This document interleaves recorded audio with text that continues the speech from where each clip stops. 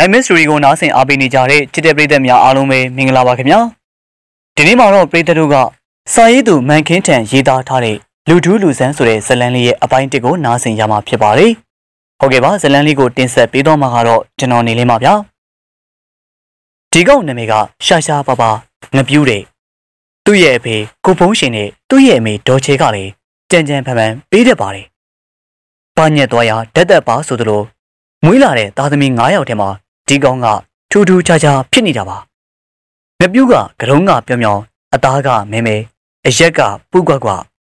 ကိုအမြဲတမ်းစားထားတာကြောင့်ရီလိုက်ရင်သွားကိုတော့မတွေ့ရပဲမဲချိတ်လို့နေပြီးပိုပြီးထူတာကအင်းကြီးမဝေဖဲနဲ့ကျိုးပြောင်ကြီးနဲ့နေတတ်တဲ့အကျင့်ရပါပြောလို့သာပြောရပေမဲ့ငပြူးကလည်းငပြူးရပါတမီးပေါက်တယောက်ထုံးတဲ့အဖြစ်ငပြူးတို့ညီကိုမောင်နှမတွေဟာအသားကဖြူဖြူချုံမောလာတဲ့သူတွေကြီးပဲများပြီးတော့ သူ့ကြက်မှစိုးလိုက်တဲ့ရုပ်လုံမရောလာကျုပ်ဘဝကလေစိုးလိုက်တာဗျာအဖေနဲ့အမေကကျုပ်ရဲ့အကိုတွေအမတွေလိုလှလှပပလေးမွေးလိုက်ပါရောလားအခုတော့ကြည်တဲ့ကျုပ်တယောက်တည်းကွက်ပြီးတော့ဘာလို့အခုလိုမျိုးမွေးခဲ့တယ်ဆိုတာတွေးတော့မတွေးတော့တော့ကျုပ်ငပြူးကိုကြည့်ပြီးတော့တနာလို့တော့ပါတယ်ဟုတ်ပါတယ်ငပြူးကိုဘယ်လိုပဲကြည့်ကြည့်သူ့ရဲ့အကိုရီအမတွေနဲ့ရုပ်ရည်ကတတိတခြားလိုဖြစ်နေတာဖြစ်ပြီးဒါကြောင့်လေကျုပ်ဟာမနေတာခဲ့ပါဘူး ငပြူးကလည်းကွာအားမငင်ပါနဲ့မင်းကအသားမဲတွေရုပ်ဆိုးပေမဲ့တစ်ဖက်သားပေါ်မှာတော့အမြဲတမ်းကူညီတတ်ပါတယ်ကွာတို့ရီအားလုံးတင့်နေတာပဲငပြူးကိုကျုပ်ကညီကိုတယောက်လိုအမြဲတမ်းအားပေးနှိမ့်သိမ့်ခဲ့ပြီးဒါကြောင့်လားမသိအရက်ကလေးထွေထွေဖြစ်လာရင်တော့ကျုပ်ကိုအမြဲတမ်းပဲဂျီကြလို့နေခဲ့ပါတယ်ကျုပ်အလုပ်ဆိုရင်တော့ကြီးကြီးကျယ်ကျယ်လို့မထင်ကျုပ်ကနေ့စဉ်ကွန်တလက်တေးတဲ့စင်းနဲ့ချောင်းညိုချောင်းကြားမြောင်းကျူမြောင်းကြားမှာငါးပါးရှာနေတဲ့အလုပ်ဆိုတော့ ကျုပ်ကအိမ်ကက်ရတယ်လို့မရှိပါဘူးကျုပ်ရသမျှဖားတွေငါးတွေကိုကျုပ်ရဲ့မိမကဈေးတွေရွာတွေမှာလှည့်လည်ပြီးတော့ရောင်းရင်းနဲ့ပဲအသက်မွေးလာတာပေါ့ခက်တာကတော့ငပြူးသူ့မိဘတွေကချမ်းသာခြင်းမဟုတ်ပေမဲ့ရွာမှာတော့ချောင်းချောင်းလေးလေးလေနဲ့ခြံနဲ့ပေါ့လေငပြူးကငဲငယ်လေးတွေကသူ့ရဲ့အကိုတွေအမတွေနဲ့တကန့်စီနေတာသူ့မိဘတွေကအိမ်မှာဘလို့ပဲထားတာမရဘူးကျုပ်ဆိုရင်တော့ငပြူးကအလွတ်ကိုခင်းတယ်ဘဲကိုသွားသွားကျုပ်နေမှာလိုက်တာလေဗျာ ငပြူးကလည်းသူ့ရဲ့မိဘအိမ်ဘက်ခြေဦးမလက်ကျုပ်ရဲ့အိမ်မှာနေကျုပ်အိမ်မှာစားကြာလာတော့ကျုပ်ရဲ့မိသားစုဝင်လိုဖြစ်လာခဲ့တာဒါကြောင့်လေကျုပ်ကငပြူးရဲ့အဖြစ်ကိုဂါဂါနာနာပြောနေတာပေါ့တညတော့ကျုပ်ရဲ့ဖေကချောင်းယူထဲမှာငားများရှာရင်းနဲ့ပျောက်သွားတဲ့ဖြစ်ကဆန်းဆန်းကြည့်တယ်ကျုပ်လေအဖေအဖြစ်ကိုသိလိုက်ရတော့တော်တော်လေးကိုအံ့ဩတုန်လှုပ်သွားတယ်ကြည့်ပါဦးများအဖေကဒီရက်သားဆိုတော့ချောင်းယူမြောင်းယူနဲ့ရောက်ဖူးပေါ်ဘူးတာခြေတုံနေပြီလေ အခုအဖေကပြန်မလာတော့ကျုပ်ရဲ့အမေကလည်းစိတ်တည်ဘူးဘာကြီးတုံကိုပြောပြတော့အဖေရဲ့ဖြစ်ကိုသိပြီးတော့အံ့ဩသွားတယ်ဟာနေပါဦးခင်နေရနေ့ယောက်ျားကဘယ်ကိုသွားပြီးတော့ငားရှာမယ်လို့ပြောလို့လေသူပြောသွားတာတော့မဆဲကလိုင်းကိုသွားမယ်လို့ပြောတာပဲဟေးအမိစကားလေးကြားရောဘာကြီးတုံအံ့အားသင့်ပြီးတော့အမေဒိတ်တန်တော်ထက်သွားလေရဲ့ကျုပ်ရဲ့ရှင်နေလေတဒိန်းဒင်းကိုခုံသွားတယ်လေခက်ပါခင်နေရ ဘာကြီးကနေ့ရဲ့ယောက်ျားကိုတွေ့တိုင်းမှာတတိပေးနေတာအဲ့ဒီမက်ဆေကလိုင်းခွေးဆိုတာသွားဖို့မသိဘူးလို့ဘာဘာကြီးအဲ့ဒီကလိုင်းကဘာဖြစ်လို့လဲဘာဖြစ်ရမှာလဲခင်နေရအဲ့ဒီကလိုင်းခွေးကမကျွမလို့တဲ့နာနာဘဝတွေအမြဲတမ်းကိုရှိနေတာမကျွမလို့တဲ့နာနာဘဝဟုတ်တယ်ယောဂလူတွေဆိုရင်ဘယ်သူမှငားမရှာရဘူးနေ့ယောက်ျားလည်းအသိပဲဟိုကောင်ဝေလွင်မြင့်မောင်ဆိုရင်အပြစ်ဆိုးနဲ့ကိုကြုံရတာနေမသိဘူးလား तू ကဘာဖြစ်လို့လဲ ဘာကြီးရဲ့စကားကြောင့်ကျုပ်ရဲ့အမေကကြောက်လန့်လို့သွားပြီးတော့ရှင်ဘက်ကိုလည်းလက်နဲ့ဖိပြီးတော့တုံတုံရင်နဲ့မေးလိုက်တာပေါ့ဗျာကျုပ်လည်းကြားဘူးတာပေါ့မကောင်းဆိုးဝါနာနာဘဝတွေကိုလက်တွေမကြုံခဲ့ရမိမေကြုံမှုခဲ့တဲ့သူတို့တွေရဲ့ပြောစကားအတိုင်းဆိုတော့မကောင်းဆိုးဝါနာနာဘဝတွေကကြောက်စရာကောင်းတဲ့အဖြစ်လေအခုလေဘာကြီးပြောမဲ့ဖြစ်ကိုကျုပ်ကသိကျင်နေတာအေးဒီလိုခင်နေရတညအဲ့ဒီဝေလွင်မြင့်မောင်နဲ့မောင်ညိုမိုင်းဆိုတဲ့ကောင်နှစ်ကောင်သားအရက်ကလည်းမူးမူး မက်ဆယ်ကလိုင်ခွေးမှာငားရှာမယ်ဆိုပြီးထွက်သွားကြတာနောက်နေ့ထိပြန်မလာတော့ဘာကြီးတို့လူစုပြီးလိုက်ရှာတော့ဝေလွင်မြင့်မောင်ကိုမိချောင်းကြိုက်တဲ့ဒဏ်ရာနဲ့ဒေါင်းချောင်းကတောင်ကုန်းပေါ်မှာပြန်တွေ့တာအေးထူတာကတော့မောင်ညိုမိုင်းကိုအစနာတော့မတွေ့တာပဲကွဒါဆိုသူ့ရဲ့ဖြစ်ကတနာစရာပေါ့နော်အေးကွဒါပေမဲ့မောင်ညိုမိုင်းရဲ့အလောင်းကိုပင်လေဘက်ထွက်တဲ့ချောင်းဘက်မှာတွေ့ခဲ့တယ်လို့အတန်ကြီးကြားပြီးတော့သတင်းတော်ပြတ်သွားခဲ့တာပဲဝေလွင်မြင့်မောင်တတိယပြီးပြောပြတာတော့အဲ့ဒီဂလိုင်းခွေးမှာသူတို့နှစ်ယောက် အားတွေအများကြီးရလို့ဆိုပြီးဝမ်းသာနေတာအဲ့ဒီမှာမောင်ညုံမိုင်းကတရေတွေကိုအရက်မူးမူးနဲ့စိန်ခေါ်ပြီးတော့ဆဲခဲ့တယ်လို့ပြောတာပဲ။ဘာကြီးတုံရဲ့စကားတန်တဲ့တူကြက်သိန်းတွေတောင်ထသွားမိပြီးတော့ကျုပ်ရဲ့အမေဆိုတော့စကားကိုကြားပြီးတဲ့ကချုံမွေးချငိုလိုက်တဲ့ဖြစ်ချင်းရပါ။ကဲခင်ဗျနေငိုနေလို့မပြီးသေးဘူး။အဖငမိုးတို့လူစုကိုမှားထားခဲ့မယ်။မက်ဆယ်ကလိုင်ခွင်းမှာဖိုးတင်ကိုတွေ့လို့တွေ့ညာသွားပြီးတော့ရှာကြီးမှဖြစ်မှာပေါ့။ အဘထုံကပြောပြောဆိုဆိုဒေးဘော်ကဆင်းသွားပြီးတော့ကျုပ်ကလည်းအမေကိုဖက်ကငိုလိုက်မိပြီကျုပ်ရဲ့ဖေသားတခုခုဖြစ်သွားရင်တော့မလွယ်ပါဘူးအဖေကိုပြန်တွေ့ပြရစေလို့ကျုပ်စိတ်ထဲမှာကြိတ်ပြီးဆူတောင်းနေတယ်လို့ကျုပ်ရဲ့အမေကလည်းအဖေအတွက်ဆူတောင်းနေဒီမှာချင်းနေပါအဲ့ဒါနဲ့ကျုပ်နဲ့ကျုပ်ရဲ့အမေကျုပ်တို့နေတဲ့တဲရှိမှာစီးနေတဲ့စမ်းချောင်းလေးကိုကြည့်ရင်ဘာကြီးထုံကိုမျောနေမိပါတယ်လူလေးရဲ့ဒီတိုင်းဆိုတော့ မင်းအဖေဘဝသုံးမိနဲ့တူပါရဲ့ကွယ်ယူကျုံမရဖြစ်နေတဲ့အမေရဲ့စကားတန်နဲ့တူကြိတ်ပြီးတော့ငုံနေခဲ့တဲ့အမေရဲ့ပါကိုဖိုးတင်ကိုပြန်တွေ့ပြီအဲ့ဒီတဲ့ရင်ကကျုပ်တို့နေတဲ့ချုံးကရွာလေးကလူတွေအတန်ကြားတွေကကျုပ်အမေနဲ့ကျုပ်ဟာဝမ်းသာအားရတဲဘော်ကပြေးစင်းပြီးတော့ချုံးလေးကိုကြည့်လိုက်တော့မြင်လိုက်ရတဲ့မြင်ဝင်ကျုပ်တက်တဲ့မိနိုင်စရာမရှိတဲ့အဖေရဲ့အဖြစ်လှေပေါ်မှာဒဏ်ရာတွေဘလက်ဘွားနဲ့တွေးတန်ရဲရဲနဲ့အဖေ ဘာကြီးထုံနဲ့ရွာသားတွေဟာအဖေကိုတဲဘော်ထမ်းနေပြီးတော့ပြုစုပြီးတော့မှကျုပ်ကျုပ်ရွှေတွေကျုပ်ရွှေတွေယူသွားပြီပြန်ပြီပြန်ပြီဟဲ့ဘိုးတင်တတိချောင်းလေမင်းကိုပြန်ရောက်နေပြီကွာဟောဒီမှာခင်တင်းနဲ့မင်းရတာဘာကြီးတုံရဲ့စကားတန်တဲ့တူအဖေကမျက်လုံးပွင့်သွားပြီးတော့ကျုပ်နဲ့အမေကိုမမြင်ဘူးတဲ့လူတွေလိုခက်စိမ့်စိမ့်ကြည့်နေတာဘာကြီးထုံကကျုပ်ရဲ့အဖေကိုဘိုးတင်ရဲ့ချင်းတွေကိုရိတ်စားမိပြီးတော့ဖះစင်မောကရေမန်းဘူးကိုယူပြီးကျုပ်အဖေကိုတိုက်ဖို့တဲ့ပြင်လိုက်တာ ဒါကိုကြည့်ပြီးတော့အဖေကကြောက်ရွံ့နေတာလေကျုပ်မတော်ဘူးဗျာမတော်ဘူးကျုပ်ရွှေတွေပြန်ပြီဘယ်ကရွှေလဲပြောစမ်းဖို့တင်ကျုပ်ကျုပ်ရွှေတွေကိုဒီကောင်ယူသွားတာကဲမင်းရွှေတွေကိုပြန်ပေးပါမယ်ကွာမင်းကဘယ်ကနေလာလဲဆိုတာပြောစမ်းကျုပ်လားကျုပ်ချောင်းများကလာတာအဲ့ဒါကျုပ်ရွှေတွေကိုယူသွားတာပြန်ပေးရင်ကျုပ်ပြန်မယ်ကျုပ်ဖေကိုဘိုးတင်ကမကြေနဲ့မျက်လုံးကြီးနဲ့လှမ်းပြီးတော့ဘာကြီးထုံကိုကြည့်ကအန်တကြိတ်ကြိတ်လုံနေပြီ ကျုပ်ကလည်းအဖေရဲ့ဖြစ်ကိုကြည့်ပြီးတော့နားမလည်နိုင်အောင်ဖြစ်မိပါတယ်ကဲဒါဆိုရင်ဖိုးတင်ကိုစားဘာကြီးကတောင်းပန်ပါတယ်ရလာတဲ့ရွှေတွေကိုလည်းအလူဒါနပေးပြီးတော့အမျှဝေးပါမယ်ကျင်းနဲ့လားကျုပ်ကျုပ်ကိုရက်ဆက်ကြတယ်ဗျာကျုပ်လူဘဝမှာတိတ်ကိုနေချင်ပါတယ်ကျုပ်မိမတွေကျုပ်ရွှေတွေယူလာတော့မှာဟိုဟိုလူကြီးကကျုပ်ကိုရွှေမပေးဘူးဆိုပြီးတော့ကျုပ်ဖေကစကားတွေပြောရင်းနဲ့ရှက်ကြီးတငယ်ငိုးလိုက်ပြီး အဖေကိုကြည့်ပြီးတော့ကျွန်တော်တနာလေတနာပါတယ်ကဲဒါဆိုတော့ခံရကရှင်အတွက်ပင်မန်းလုံးလို့တောင်းပန်ပါတယ်ကွယ်မင်းဘသူလဲဆိုတာကိုပြောကျုပ်ကျုပ်နာမည်မပြောပြစေနဲ့ဗျာကျုပ်ပြောလို့မရဘူးကျုပ်မိမမငင်းကိုပြောပြပါဦးခင်ဗျနင်းယောက်ျားကမကောင်းဆိုးကအပမင်းနေတာအပမင်းနေတာမသိရင်မလွယ်ဘူးဟိုကိုဖိုးတင်ကိုဘယ်မှာတွေ့ရလဲဘာကြီးတော့အေးနင်းယောက်ျားက မတီကောင်းမပြောက်ကောင်းအဖြစ်ပဲခင်းနေရီဘာကြီးတို့မက်ဆယ်ကလိုင်းခွင့်မှာတွားရှာတာဘယ်လို့မှမတွေ့ဘူးအဲ့ဒါလက်လျှော့ပြီးတော့ပြန်မယ်လို့တော့ညီးတန်ကြလို့လိုက်လေရှားလိုက်ရောဂလိုင်းရဲ့ချောင်းတွေကလက်သာပြင်ပေါ်မှာလဲနေတာတွေ့ရတာတကူလုံးမှလည်းဒဏ်ရာတွေအပြည့်နဲ့ခက်နေတာကအဲ့ဒီလက်သာပြင်ပေါ်မှာထူးထူးဆန်းဆန်းမိချောင်းတိုက်ကိုတွေ့ကြရလို့ဘာကြီးဖိုးတင်ကိုခေါ်ပြီးတော့အပြေးပြန်လာခဲ့ရတာဘာကြီးတုံရဲ့အသေးထိတ်စရာစကားတန်ကြောင့်အဖေကိုကြည့်လိုက်မိပြီးအဖေကဒဏ်ရာတွေကြောင့်မိနေရက မျက်လုံးတွေပွင့်လာပါတယ်ခင်တေခင်တေ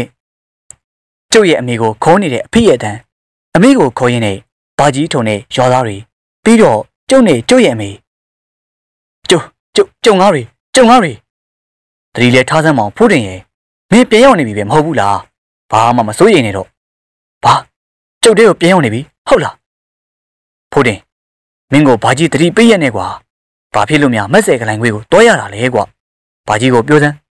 ပြီးတော့ရွှေတွေရခဲ့တယ်ဆိုတာဘယ်မှာလဲဖိုးတင်ဗျာကျုပ်ရွှေတွေရခဲ့တယ်ဟုတ်လားဟုတ်တယ်ဖိုးတယ်မင်းကိုအပမိပြီးပြောတဲ့စကားရွှေရည်တဲ့အဲ့ဒီရွှေတွေမငင်းကိုပေးရမယ်ဘာကြီးတုံရဲ့စကားတန်တဲ့သူကျုပ်ရဲ့အဖေကတဲလေးရှိကချောင်းရည်ပြင်ကိုငေးကြည့်လို့နေပြီးတော့ဒီလိုပါရဲ့ကျုပ်အဲ့ဒီနေ့ကငါဘယ်လိုရှာရှာမရလို့မထူးဘူးဆိုပြီးတော့မက်ဆယ်ကလန်ခွေကိုအရေးစွန်ပြီးတော့ထွက်ခဲ့တာပါ ကုပိုးတင်တယောက်လေကလေးကိုလော်ပြီးထွက်လာတော့အချိန်ကမနှဲတော့ပဲမနေ့ကကုပိုးလူမှားထားတဲ့စကားကနားရဲကမထွက်ပါဘူး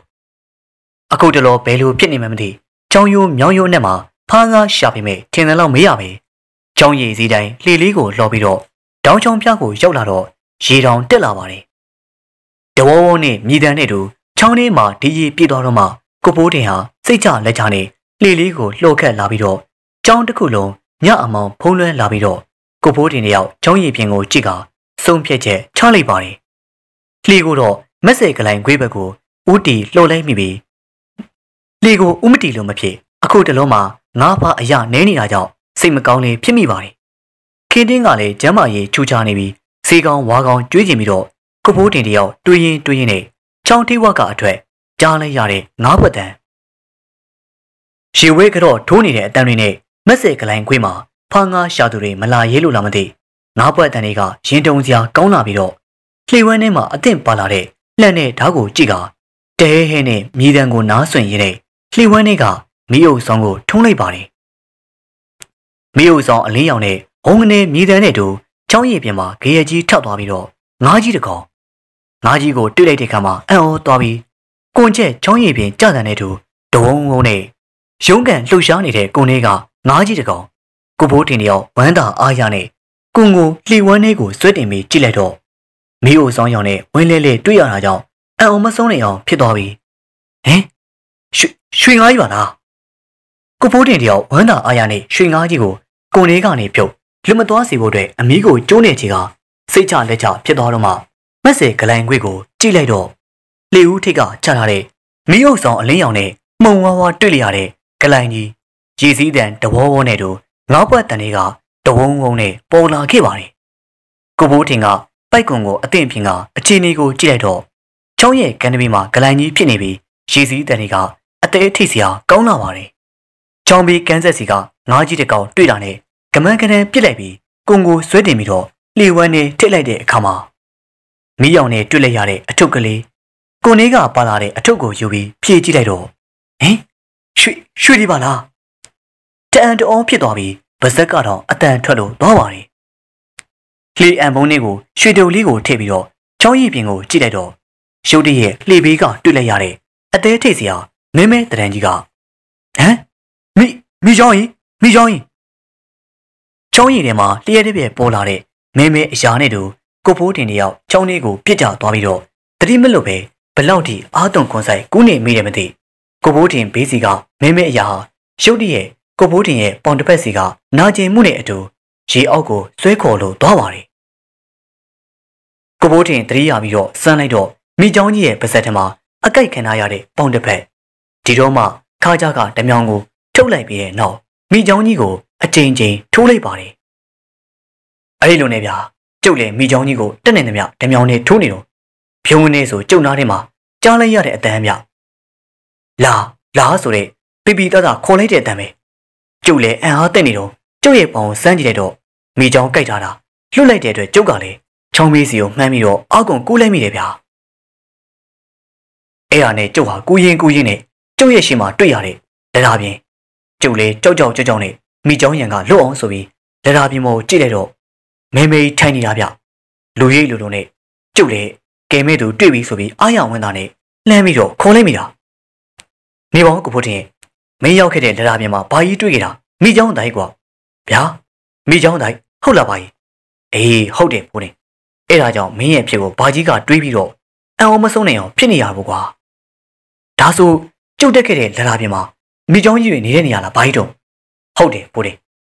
ကျုပ်တို့လည်းမစဲကလိုင်ခွေးမှာနာနာဘဝတွေရှိတယ်ဆိုတာကြုံမှုတဲ့လူတွေပြောလို့သိရပါမယ်အကိုဖိုးတင်မိလဲနေတဲ့လက်လာပြင်မှာမိချောင်းတိုင်ရှိတယ်ဆိုတာဘာကြီးတုံပြောမှာပဲသိကြရတာကဲ ဒါနဲ့ဆက်ပြောပါအောင်ဒီလိုဗျာအဲ့ဒါနဲ့ကျုပ်လေလူရိပ်လူလိုတွေ့ပြီးတော့ခေါ်လို့မရတာနဲ့အာတင်းပြီးတော့လက်လာပြင်ပေါ်ကိုတက်အဲ့ဒီလိုတက်နေတော့မှရေတံကြီးဝုံငနေကြရပြီးကြည့်လိုက်တော့မိကျောင်းတကောင်ကလက်လာပြင်ပေါ်ကိုတက်လာတာကျုပ်လေကြောက်လန့်ပြီးတော့អော်လိုက်မိတယ်အဲ့ဒီကလေးကကျုပ်ဘာမှမသိတော့တာဗျอืมဖိုးတင်ရမင်းကြုံခဲ့တဲ့ဖြစ်ဖြစ်ကပြောလို့သာကြားနေရတာမက်ဆေကလိုင်ခွင့်မှာနာနာဘဝတွေကြောက်လန့်လို့ဘသူမှတားငါမရှာရတာ မင်းလည်းအသိပဲလေကွာ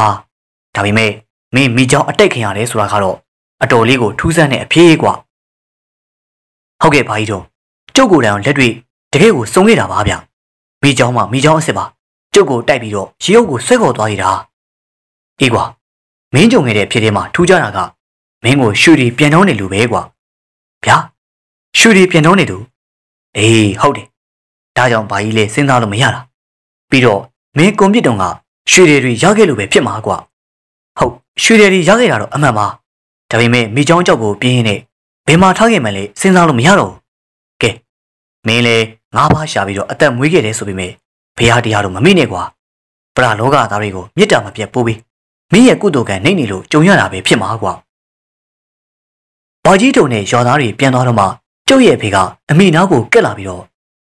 ခင်နေငါရွှေတွေရခဲ့တာအမှန်ပဲဟင် ဘာကြီးတုံပြီးတော့ကိုဖိုးတင်မဲ့မိချောင်းတွေရဲ့ရန်ကြောင့်ရွှေတွေမရှိတော့ဆိုဟုတ်တယ်အခုမှငါစဉ်းစားမိရင်လည်းတတိယသွားလို့ငါ့ကိုမိချောင်းမဆွဲခင်ရရွှေတွေကလျှက်မိုးနေမှာထားခဲ့တာအဲ့ဒါနဲ့လျှက်ကိုရှာပြီးတော့ယူခဲ့အဖေရဲ့စကားကြောင့်ကျုပ်ရဲ့မိဟာချောင်းယူထဲမှာရှိတဲ့လျှက်ဖုန်းတွေကထားခဲ့တဲ့ရွှေတွေကိုယူပြီးတော့အဖေကိုပြလိုက်ပါတယ်ဟုတ်တယ်ငါလက်ထားပြင်မှာသတိမိနေသလိုဖြစ်နေတော့လူတယောက်ငါ့ကိုနှိုးပြီးတော့ရွှေတွေမေးတယ်ဟာ အဲ့ဒီရွှေတွေကိုပြန်ပေးလို့ပြောတယ်ငါလည်းအိမ်မက်မက်တယ်လို့ဇဝေဇဝါဖြစ်နေတာဒါဆိုကိုဘိုးတင်ကိုပို့ခဲ့တဲ့မကျွမလို့တဲ့သူပဲဖြစ်မှာပေါ့ကိုဘိုးတင်ကြာရင်တော့မလွယ်ဘူးထင်နေတော့ဘာကြီးထုံမေးကြီးမှဖြစ်မှာပေါ့ဟာငါအဲ့ဒီရွှေတွေကိုကုန်ပြင်းရင်းနဲ့ရလာခဲ့တာအဲ့ဒါဘာကြီးထုံကိုမေးမြန်းပြီးတော့တက်ဆိုင်ရာသူ့အတွက်အလူဒဏလုပ်ပြီးမှဖြစ်မှာပေါ့အဲ့ဒီကလေးကကျုပ်ကကျုပ်အဖေကိုဘိုးတင်ရဲ့ဖြစ်ကိုတိကျရတာဖြစ်ပြီးဘာကြီးထုံအပြောရတော့ ဟိုတုန်းကဓမြမိုးတီတို့အဖွဲ့ပေါတူတမန်ကြီးကိုဓမြတက်ပြီးတော့ရွှေတွေလူယုံနဲ့မကပဲအဲ့ဒီမစဲကလိုင်ဝိမှာပါလာခဲ့တဲ့သူတွေကိုတက်ခဲ့တာလို့ပြောပြီးတော့ဒါဆိုရင်ကျုပ်ရဲ့ဖေကိုပိုက်ကုံပြင်းရင်းနဲ့ရလာတဲ့ရွှေတွေကဓမြမိုးတီတို့ပဲတက်ခဲ့တဲ့သူတွေရဲ့ပစ္စည်းတွေပဲဖြစ်မှာပါကျုပ်ပြောချင်တာတော့ငပြူးရဲ့ပါဒီကောင်ကကျုပ်ရဲ့အိမ်မှာနေပြီးကျုပ်အိမ်မှာစားဆိုတော့ကျုပ်တို့မိသားစုလိုဖြစ်နေတာအခုလေကျုပ်ကနေ့စဉ်ဖားငါရှာနေရတော့ငပြူးကလည်းကျုပ်နေပေါင်းတော့မှ ဖားငါရှာရတဲ့အလုပ်ပဲလုပ်တာမို့လေဒါပေမဲ့ဒီကောင်ငပြူးကဖားငါရှာရတာကိုတစ်စက်ကလေးမှမညှို့ညင်ဘူးကျုပ်တက်တောင်တကယ်ကိုတော်သေးတာဗျခက်တာဟာလူရတာအကြီးတန်းရုပ်ဆိုတာတဘာဝတရားပေးလာတော့လှကျင်ပကျင်တာကြည်အောင်လေဟိုလုံးကဖြစ်တယ်လို့နေဖြစ်တယ်လို့စားတဲ့ငပြူးအခုတလို့တော့ဆန်းဆန်းပြပြကိုဖြစ်နေတာတွေ့ရတယ်ဗျကျုံမိမမြရီရွာကိုဈေးတိုးပေးရင်းနဲ့ဈေးရောက်နေဆိုရင်သူ့အတွက်ကြည့်ပြီးတော့မှားလိုက်တဲ့အဝိစားနဲ့ပေါင်တာဘူးနဲ့ရင်ဝေးပလင်းနဲ့ ကျုပ်လေငရာကကြီးလာနေသူပါဗျာဒါကြောင့်လေကျုံမိမမြရီကိုကျုပ်ပြောပြောထားရတယ်ဗျဟဲ့မြရီငပြူးလူချင်တာလိုက်ပြီးတော့ဝယ်ပေးလိုက်ပါဟာငပြူးကလှကျင်ပကျင်တဲ့အရွယ်ကိုရောက်လာပြီဟာစစ်မှုပါနဲ့ကိုတောင်းစင်ရဲ့တော့ရဲ့ညီငပြူးကအခုတလောထမ်းမင်ကောင်ကထိန်ညိုကိုစိတ်ညွတ်နေတာတော့ဟာငပြူးကရက်ကြော်ရွာကြော်ကြော်ပြီးတော့ထိန်မင်ကောင်ကသူ့ကိုဆွဲလန့်နေတာဟုတ်လားဟုတ်ပါတော့ကျုပ်ငားမနိုင်လို့ငပြူးကိုခေါ်ပြီးတော့ဇေတိုးပေးရင်းနဲ့ ကိုမိုးရဲ့ဝါးပေါင်ထဲမှာတင်ညို့ကိုတွေ့ရတော့တင်ညိုကငားပေါင်ထဲမှာငားရွနေတာအဲ့ဒါကျမအောင်ငပြူးကအတင်းပူစားလို့တင်ညိုးနဲ့ရင်းနှီးအောင်ပြောပေးခဲ့ရသေးတာအဲ့ဒီကလေးကငပြူးကအဖြစ်သေးနေတာဇေတိုးငားဖို့ဖို့ချောင်းလေးကကမတက်တော့ဘူးတော့ရေကျုံမိမမမြရင်ပြောရင်လေပြောစရာပါငပြူးကလည်းငပြူးဟိုရင်တုန်းကကျုံတဲ့တူတူကျုံမင်းမမြရင်ပြောမယ်ဆိုလဲပြောချင်စရာပဲဗျငပြူးကလည်းငပြူးပဲဟိုရင်တုန်းကကျုံတဲ့တူတူ ဖားရှာငားရှာနေတာ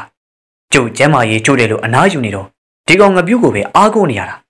ငပြူးဆိုရင်ကျုပ်တို့ချောင်းရမှာတပည့်စားငပြူးရင်လို့တော့ပြောရမလို့ဖြစ်နေပြီဗျပြောမယုံကြုံမှုမှတိဆိုသလိုပဲငါးတွေဆိုရင်လှီဝမ်းတဲ့အပြစ်ပြီးတော့ငပြူးရှာလာတဲ့ငါးတွေကတကယ့်ကိုငါးကြီးငါးကောင်းနေကြီးဗျကျုပ်လေချောင်းယိုးမြောင်းယိုးနဲ့ငါးရှာလာခဲ့တာကြာပါပြီဗျာငါပြူးတော့ငါမရတော့အမှန်ပဲ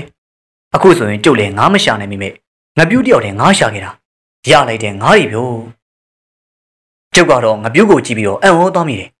ကျုံမိမမြရီကတော့ငါပြူးရလာတဲ့ငါးတွေကိုကြည့်ပြီးတော့ဈေးတိုးပေးဖို့တဲ့အလုပ်တွေရှုပ်သွားတာပေါ့လေငါပြူးတကိုယ်လုံးမလေးရေတွေကရွှေလို့ဟာငါပြူးပစိုးလေးအင်ကြီးလေးအမြန်လေးလီကွာအေးပန်နေအောင်မယ်ဟုတ်ကဲ့ကိုကျုပ်ကတော့ငပြူးကိုကြည့်ရင်လည်းအလိုလိုတနာတော့တယ်ဗျာစဉ်းစားကြည့်မိဘတွေကချောင်းချောင်းလဲလဲဘယ်နဲ့ကျုပ်ကမှလာပြီးတော့ခင်တွယ်နေတဲ့ငပြူးရည်လေ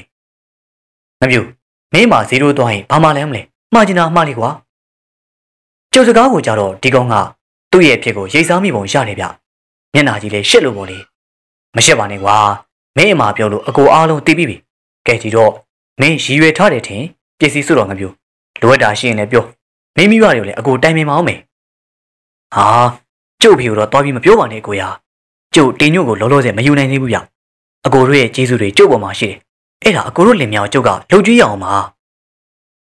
မပြောပါလေကွာမင်းကိုကညီလေးရင်းတယောက်လိုတက်နေတယ်မြဆောင်းချောက်ထားတာပဲကွာမင်းအကိုကိုဆက်ဖို့တဲ့ဘာကျေးဇူးမှမရှိပါဘူးကွာငါမဟုတ်ပါဘူးကျုပ်ရဲ့စိတ်ထဲမှာအကိုတို့တွေ့ပြီးတဲ့ဘယ်လိုခင်မန်းကိုမသိဘူးဗျပြီးတော့ဟိုလေပြောရအောင်မယ်ကျုပ်မှာရွှေတွေရှိတယ်ဘာမင်းမှာရွှေတွေရှိတယ်ဘယ်မှာလဲကွာအကိုလူတွေကြားတော့မယ်တူတူပြောပြ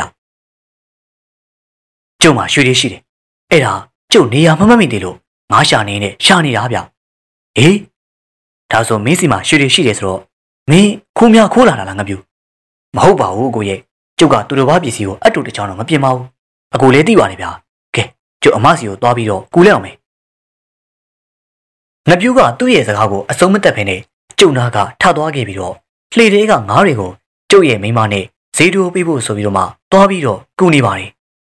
ကျုပ်ငပြူးကိုကြည့်ပြီးတော့ အတွေးတွေခြားခြားလင်းနေပြီးပြောလို့သာပြောရတာငပြူးကျုပ်စီမှာနေလာတာကြားပါပြီအခုငပြူးရဲ့ပါဇက်စီကထူးထူးခြားခြားကြားလိုက်ရတဲ့ရွှေတွေအဲ့ဒီရွှေတွေကိုငားရှာရင်နဲ့တွေ့ခဲ့တဲ့ငပြူးရဲ့ဖြစ်အခုလည်းငပြူးကနေ့စဉ်မရဘူးတဲ့ငားတွေနဲ့ကျုပ်ကလည်းချောင်းယိုးမြောင်းယိုးနှက်နေတာပါတကားတလေဟင်းစားကလွဲလို့မရခဲ့တဲ့ရက်တွေကလည်းအများကြီးလေမက်ဆယ်ကတိုင်းခွေးကိုများငပြူးတယောက်တောသွားနေပြီလားမတော်လို့မကောင်းဆိုးဝါနာနာဘဝတွေနဲ့တွေ့ရတော့ မလွယ်ဘူးလေကျုပ်တွေးမိရင်နဲ့ကြက်သိန်းတောင်ထသွားခဲ့တယ်အဲ့ဒါနဲ့ကျုပ်မနေတာတော့ပဲနဲ့ငပြူးကိုခေါ်ပြီးတော့မေးရတာပေါ့ကျုပ်စကားကိုကြားတော့ဒီကောင်ငပြူးကမျက်လုံးပြူးပြီးတော့ငပြူးမင်းအကိုကိုမှန်မှန်ပြောတယ်မက်ဆယ်ကလန်ခွေးကိုငါသွားရှာလို့ငါတို့ရလာခဲ့တာမို့လားအကိုတို့ကျုပ်ဘယ်လိုပြောရမှမသိပါဘူးဗျာကျုပ်ငါရှာရင်နဲ့ဖောင်ထဲမှာသွားအိတ်တဲ့ညကအဲ့ဒါထူးထူးခြားခြားအိမ်မက်မက်ခဲ့တယ်အိမ်မက်ထဲမှာမက်ဆယ်ကလန်ခွေးနဲ့ပတ်သက်နေတယ်ကို မင်းအိမ်မက်ကအဲ့ဒီခွေးနဲ့ပတ်သက်နေတယ်ဒါဆိုမင်းမက်ခဲ့တဲ့အိမ်မက်ကိုငါ့ကိုပြောစမ်းမအောင်ဒီလိုပါကျုပ်ဖောင်ထဲမှာအိတ်နေတော့လူတယောက်က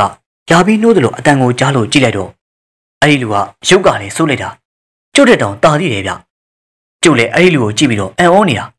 အဲ့ဒီလူကကျုပ်ကိုချောင်းလေးလက်ညှိုးထိုးပြနေလို့ကျုပ်လည်းလေပေါ်ကိုတက်အဲ့ဒီအချိန်မှာချောင်းရည်ကလည်းတဘောဟောနဲ့အရှိန်ပြင်းပြင်းစီးပြီးတော့ကျုပ်ရဲ့လေလေမြောက်သွားတယ်ဗျ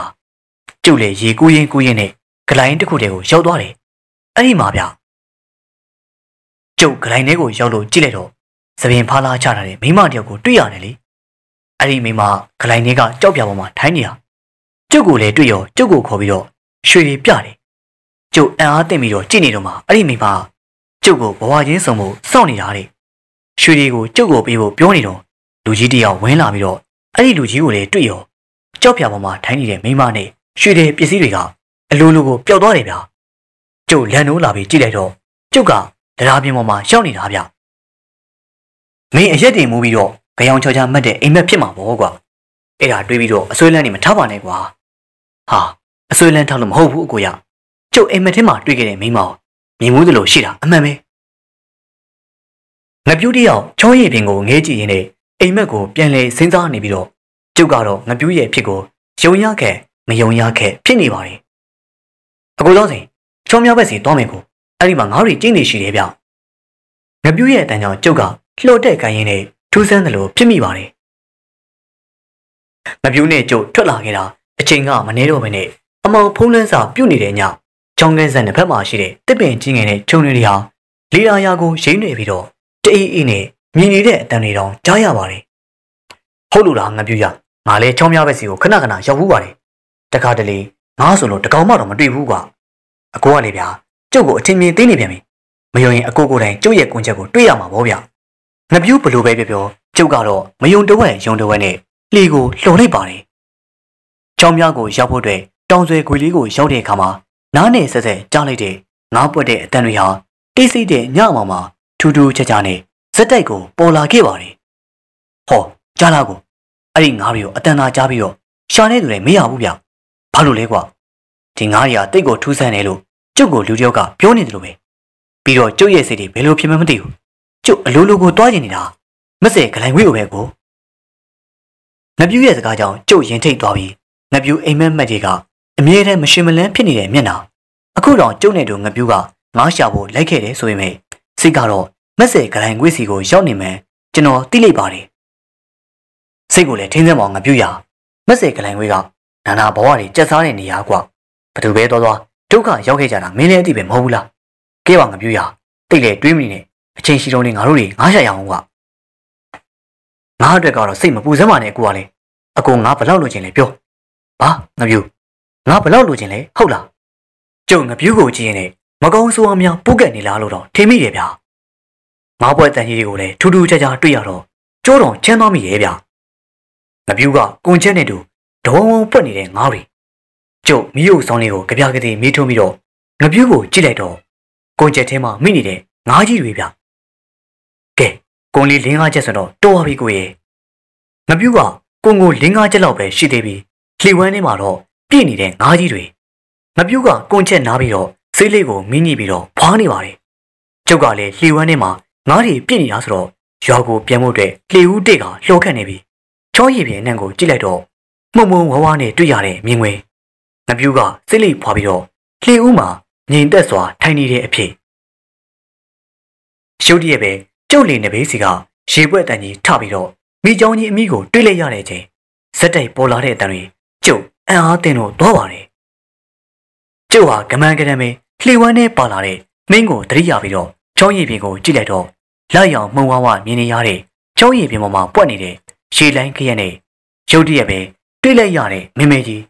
ကျုပ်ဟာလက်သေးကမင်းနဲ့ထိုးချလိုက်ပြီးဘုံကနေဆိုတဲ့အတန်ကြီးပိုးလာပြီးတော့လူးလွန်လှုပ်ရှားသွားတဲ့လှိုင်းခရက်ကြီးတွေလည်းထလို့သွားပါတယ်အဲ့ဒီချိန်မှာကျုပ်ကငပြူးကိုတရိယာပြီးတော့ချောင်းရည်ပြင်နဲ့ခုံနေမိပြီးကျုပ်လီကိုခပြင်းပြင်းလော်ပြီးတော့ချောင်းရည်ပြင်နဲ့လှည့်ပြီးတော့ရှားကြည့်တော့မှုံဝါးဝါလက်ရောင်နဲ့တွေ့လိုက်တဲ့တရံက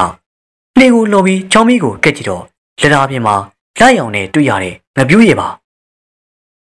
ငပြူးရည်ကိုမှတွေ့နေနဲ့ကျုပ်လည်းကမန်းကရန်ငပြူးကိုထမ်းပြီးတော့ချောင်းမီးကနေရွာကိုရောက်ပြေးလာမိပါတယ်ငပြူးကိုတဲပေါ်တင်ပြီးတော့ကျုပ်ရေစုပ်နေမိပြီးကျုပ်နဲ့ငပြူးရဲ့ဖြစ်ကိုတွေ့လိုက်ရတော့ကျုံမင်းမကမျက်လုံးလေးတွေဝိုင်းပြီးတော့ကြက်တီတင်နေတဲ့အဖြစ်ရပါမြမြမြကြီးမြကြီးဘာကြီးတုံမြင်မြင်ခေါ်ပေးစမ်းကျုပ်စကားကြတော့မြကြီးကလည်းတဲပေါ်ကပြေးစင်းပြီးတော့ဘာကြီးထုံကိုတွားပြီးတော့ခေါ်တယ်လေဘလို့ဖြစ်ကြတာလဲတောင်းစင်ညာ မင်းတို့ဖြစ်ကလည်းတဲတိတ်စာတွေပါလားကွာငပြူငပြူအာမိချောင်းလာပြီမိချောင်းလာပြီဗျမိချောင်းကြီးမရှိတော့ပါဘူးကွာငပြူမင်းတဲကိုပြန်ပြီးတော့ရောက်နေပြီကွာတေချာကြည့်ပါဦးအကိုတောင်းစင်အကိုတောင်းစင်အေးရှိတယ်ငပြူမင်းနာမှာငါရှိတယ်ကျုပ်အကိုအတွက်စိုးရိမ်လိုက်တာအကိုရာအေးမင်းရတာမင်းရဲ့ကိုတောင်းစင်အတွက်စိုးရိမ်နေမင်းအပြစ်ကိုလည်းမင်းပြန်ကြည့်အောင်ကွာတောင်းစင်မင်းတို့မိချောင်းကိုတေးသေးချာချာတွေ့ရတာလား ကျုံငပြူးကိုမိချောင်းရိုက်ပြီးတော့ချောင်းထဲမှာဆွဲချနေတော့မိနဲ့တေးသေးချာချာထိုးခဲ့တာပါကျုပ်လည်းချောင်းယုံမြောင်းယုံနဲ့ငါးပါးရှက်လာခဲ့တာဘာကြီးထုံလဲအသိပဲမိချောင်းကိုတခါမှမတွေ့ဘူးဗျမိချောင်းကမက်ဆေကလိုင်ခွေးပါနေတာကိုဘာငပြူးမိကျုံးကမက်ဆေကလန်ခွေးမှာဟုတ်လားခက်တယ်ကွာအဘလည်းအဲ့ဒီရက်မှာနေတာကြပါပြီမိချောင်းရှိတယ်ဆိုတာတခါမှလည်းမကြဘူးဧကန်နာမင်းတို့တွေကိုမိစ္ဆာဝိညာဉ်တွေကချုပ်လန့်တာဖြစ်မှာပေါ့ကွာကဲ မင်းတို့အားလုံးရတနာသုံးပါတော့မမိကြနဲ့ကွာနောက်ဆိုတော့တတိဝရိယနဲ့ဖားရီငါးတွေတွားရှာကြဒါပေမဲ့ချောင်းမြကိုတော့တတိထားပြီးတော့သွားကွာဘာဖြစ်လို့လဲဟာဘာဖြစ်ရမှာလဲအဲ့ဒီချောင်းမြကမိစ္ဆာအော်တန်တွေမကြခဏကြားရတယ်လေကွာမင်းတို့ဖြစ်ကတီကောင်ပေါင်းလည်းဖြစ်ပြီပါလားတောင်းစင်ရဒီအတိုင်းဆိုတော့ငပြူးနေမင်းကတီရွာပြန်လို့တော့ပြောရမလို့ဖြစ်နေပြီကွာဟုတ်တယ်ဘာကြီးတုံးကျုပ်ကလည်းငပြူးကချောင်းပြမှာငားရမယ်ဆိုလို့ အရေးစွမိတော့လိုက်သွားခဲ့တာအပြင်မှာတွေ့ရမယ်ဘာကြီးရဲ့ကျုပ်တော့မယုံနိုင်ဖြစ်မိတယ်ဗျငပြူးကိုမိချောင်းမိနဲ့ရိုက်ချလိုက်တာတကယ်ကိုဦးတုံအသေးတုံအဖြစ်ပါဗျာอืมပြောစမ်းပါငပြူးမင်းကမိချောင်းဆယ်မန်တိလားတိတယ်ဘာကြီးရဲ့ကျုပ်ကမိချောင်းမိနဲ့ရိုက်ချလိုက်တော့တတိမပြတ်ဘူးကျုပ်လည်းရေထဲရောက်ရောမိချောင်းကိုဖတ်ထားလိုက်တာအဲ့ဒီအချိန်မှာကျုပ်ဟိုကျုပ်ရင်းမှာမင်းမဲကြီးတွေ့ပြီးတော့မကြောက်ဘူးဗျာမိချောင်းကြီးကထွက်ပြေးသွားတာပဲအဲ့ဒါနဲ့ကျုပ်ကလည်းကြောက်လန့်ပြီးတော့ချောင်းကမ်းဘက်ကိုကူးလာတာ အဲ့ဒီတစ်ချိန်ကျုပ်ရဲ့တကူလုံးနာကျင်သွားပြီးတော့ဘာမှမသိတော့ဘူးဗျอืมဟုတ်ပြီဟုတ်ပြီကဲငပြူလေးစီးလေးပါလေးတော့ပြီးတော့အနားယူဘာကြီးတုံကစိတ်မချတဲ့ပုံစံနဲ့ဆေးပေးကပြန်သွားခဲ့ပြီးကျုပ်ကလည်းငပြူးကိုကြည့်ပြီးတော့မေးတယ်မမေးတယ်စဉ်းစားနေပါတယ်ကျုပ်မစင်းစားလို့မဖြစ်ဘူးလေဒီကောင်ငပြူးရဲ့အဖြစ်ကကြာရင်မလွယ်ဘူးလေငပြူးတက်တာရဲ့လားတက်တာပါလေကိုရဲ့အခုကြောင့်ကျုပ်အတန်မသေးခဲ့တာအကိုတို့ကိုကျုပ်ဘယ်လိုကျေးဇူးဆက်ရမလဲတော့မသိတော့ မင်းကလေကွာအကိုကိုကျေးဇူးတင်ဖို့မလိုပါဘူးကွာမင်းရဲ့တက်ကိုကယ်နိုင်ခဲ့လို့အကိုဝမ်းသာနေတာနောက်ရက်ကစပြီးတော့မင်းငါးမရှာနေတော့ကွာအကိုမင်းကိုစိတ်မကြောက်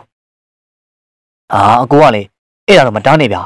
အခုကျုပ်ဖြစ်သွားတာတိုက်ဆိုင်လို့ပါဗျကျုပ်ကငါးမရှာရင်မဖြစ်ဘူးအကိုရဲ့ကျုပ်ငါးရှာမှသူနဲ့တွေ့မှာပေါ့ဟေးမင်းဘာစကားပြောတာလဲကွာသူဆိုတာဘာတူလဲအကိုမှန်မှန်ပြောစမ်းအကိုကိုပြောစမ်းကပြောအကိုတိမရန်သူလားမိတ်ဆွေလားဆိုတာခွဲခြားလို့ရမှာမင်းမပြောလို့တခုခုဖြစ်သွားရင် အကိုရင်ကျိုးအောင်ခံစားနေရမှာကွာအာကျုပ်အဲ့ဒီအကြောင်းတွေကိုဘသူကမှမပြောဘူးလို့ကျုပ်ရင်ထဲမှာဖွက်ထားခဲ့တာကြားပြီကိုပြောရရင်တော့ကျုပ်အဖြစ်ကိုဘသူကမှယုံနေမှာမဟုတ်ဘူးကျုပ်ကဟိုဘွားကလာခဲ့တဲ့သူပဲအကိုတောင်းစင်ရဲ့ဟေးမင်းကဘယ်ဘွားလာလဲကွာအကိုကကြိုပြောတာကိုမယုံဘူးနဲ့တူတယ်ဟောဒီမှာကြည့်လေကိုငပြူးရဲ့ရင်မမှာဒန်ရောင်လိုလိုအကွက်ကြီးကျုပ်တွေးလိုက်ရပြီးတော့ငပြူးနဲ့ကျုပ်နေလာခဲ့တာကြာပါပြီ တတိမထားမိလို့လားဒါမှမဟုတ်မင်းရဲ့ဘက်ကဒန်ရကြီးကငပြူးဘာဖြစ်တာလဲကွာဟုတ်တယ်ကိုဒီဒန်ရောင်တွေးမိတိုင်းမှာ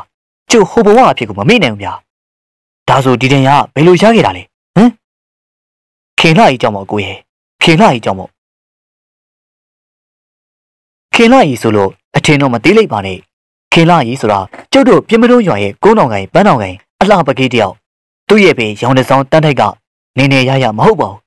ကျုပ်တို့ရွာမှာတကြီးဖြစ်ပြီးတော့ခင်လာကြီးရဲ့အမေမနှန်းရွှေဆိုရင်လှမလာချိုးမချိုးရပါခက်နေတာကကျုပ်ကျုပ်ရဲ့မိဘတွေဆိုတာကလေတယောက်တည်းမွေးလာခဲ့တဲ့ကျုပ်ကိုဖူးဖူးမှုတ်ထားခဲ့တာဒါကြောင့်လည်းမသိပါဘူးကျုပ်ကလည်းစိုးမဆိုးရွာမှာဆိုရင်အကြောက်ဆုံးဆိုလို့ရွာဦးကျောင်းဆရာတော်နဲ့တကြီးရောင်တစောင်းတန်းထိုက်ပဲရှိတာတကြီးရောင်တစောင်းတန်းထိုက်ကလည်းလက်တံပြောင်းသလားမမေ့နဲ့လေကျုပ်တရားပါတိကြောက်လာခဲ့တာမကြောက်ပဲရှိပါမလား တင်းကြတော့ကျုပ်နဲ့ဒနုတ်သားကိုစောအရက်တော့ဖို့ဆိုပြီးအမည်မရှိလို့ကြက်သွားခိုးတာကျုပ်နဲ့ဒနုတ်ကိုကိုစောတွားခိုးမိတဲ့ကြက်ကအပြိုကြီးဒေါ်ဝေအိမ်ကကြက်ဖြစ်နေတယ်လေကျုပ်လည်းမူးမူးနဲ့ဆိုတော့မသိပါဘူးဟိုကောင်ဒနုတ်ကိုကိုစောခေါ်လို့တွေ့တဲ့အိမ်ကြက်ဝင်ခိုးမိတာအဲ့ဒါကျုပ်နဲ့ကိုကိုစောလဲကြက်သားဟင်းချက်အရက်နဲ့မြည်ပြီးတော့ဇိမ်ကြနေတော့ရောင်တစောင်းတကြီးတန်းထိုက်ရောက်လာတယ်လေဟဲ့ကောင်ကတို့မင်းတို့တွေဘာနဲ့အရက်မြည်နေရလဲကွာကြက်သားလေဘာလဲ ကိုထူးကအရက်တောက်မလို့လားလာလေဗျာအမီးကတော့ကြက်သားပဲရှိတယ်အရသာရှိလိုက်တာဗျအရက်မူးမူးနဲ့တွေ့လိုက်ရတဲ့ကိုထူးကိုထူးဆိုတာတကြီးရောင်တစောင်းတန်းထိုက်ရဲ့တပည့်ရင်ကျုပ်ကအရက်သမားဆိုတော့ကိုထူးလေးကလည်းခွက်ပုံးချနေကြငါတို့တကြီးတကြီးပါတယ်ကွာမင်းရလေဟဲ့အောင်ငါတို့မင်းဘလို့မှပြေးမလို့ဆိုတာမှတ်တာဒါပါလေကြည်တန်းအောင်မြင်ခံကြတဲ့ရောင်တစောင်းဦးတန်းထိုက်ရဲ့အတန်နဲ့တူကြုတ်ကြည့်လိုက်တော့ သူ့လက်ထဲကနှလုံးမျိုးတနက်နဲ့ချိန်ထားတာကျုပ်ရဲ့ရင်ဝါဗျကျုပ်တော်ထားတဲ့အရက်နဲ့အသားတွေတောင်ဘယ်ကိုရောက်လို့ရောက်သွားမှမသိပါဘူးဗျာငါတို့မင်းမှန်မှန်ပြောစမ်းအရက်နဲ့မြည်ဖို့ခိုးလာတဲ့ချက်ကဘယ်ကကြက်လဲကွာဟမ်ကျိုးကျိုးတငယ်ချင်းစောလင်းဦးရဲ့ကြက်ပါဗျဟောတကြီးကလည်းမယုံဘူးဆိုရင်အေးကိုကိုတော့အောင်မေးကြည့်ပါဘာကွာအော်ကြကြောက်ပါလေတပည့်ရဲ့ဟိုနောက်မခိုးနဲ့ဆိုရင်မခိုးတော့ပါဘူးအခုချက်ကလေဟိုအပြိုကြီးဒေါ်ဝီရဲ့ကြက်ပါအဲ့ဒါငါတို့က အရက်နဲ့ကြက်သားမိကျင်နေဆိုလို့ကျွန်တော်ခိုးပြတာပါဗျတကြီးရောင်တစောင်းတန်းထားရဲ့အတန်းနဲ့တူကြောက်ကြောက်လန့်လန့်ပေါ်လာတဲ့ဖိုးကောင်ကိုစောရဲ့တုံတုံရင်အတန်းဗျဒီတော့မှကျုပ်လည်းမျက်လုံးပြူးသွားတယ်မပြူးပဲရှိပါမလားအပြိုကြီးဒေါ်ဝေးဆိုတာရောင်တစောင်းတန်းထားရဲ့နှမတဝမ်းခွဲဆိုတော့ကျုပ်နဲ့ကိုကိုစောတကြီးအိမ်အောင်မှာတညလုံးခြေထိတ်ခံလိုက်ရတဲ့အဖေးဗျအဲ့ဒီကလေးကကျုံမိပါလေဆိုရင်ကျုပ်ကြောင့်ရှက်လွန်းလို့ရွာလေးကိုတော့မျက်နှာမပြရဘူး ပြီးတော့ကျုပ်ကိုတားပြစ်ကနေစွန့်ခဲ့တာကျုပ်လည်းမထူးဘူးဆိုပြီးတော့မှလူမိုက်ရွှေပါတို့နဲ့ပေါင်းလူမိုက်ရွှေပါဆိုတာတင်တယ်လုံးကြောက်ရတဲ့ဓမြလူမိုက်လေဒါပေမဲ့ရွှေပါကတော့ဓမြသာဆိုတယ်လူမိုက်လို့တော့မထင်ရဘူးဗျလူပုံကနှွဲ့နှွဲ့အပြိုးကလည်းကောင်းမကောင်းပြီးတော့မိမချိုချိုးနေသူဒါပေမဲ့ရွှေပါကိုသွားမဆက်နဲ့တနက်ပြစ်လေကျွန်းနေကျုပ်လေလူမိုက်ရွှေပါနဲ့အဖွဲ့ဝင်ဆိုပေမဲ့သူများထက်ကတော့တားတယ်ဗျကြည့်လေဗျလူမိုက်ရွှေပါလို့ကျုပ်က တနက်ပြစ်တဲ့နေရာမှာမကျင်နေတာထောင်းဓာပြစ်စမ်းကျင်တာစမ်းဒါကြောင့်ကျုပ်ကိုလေလူမိုက်ရွှေပါအဖွဲ့ထဲမှာ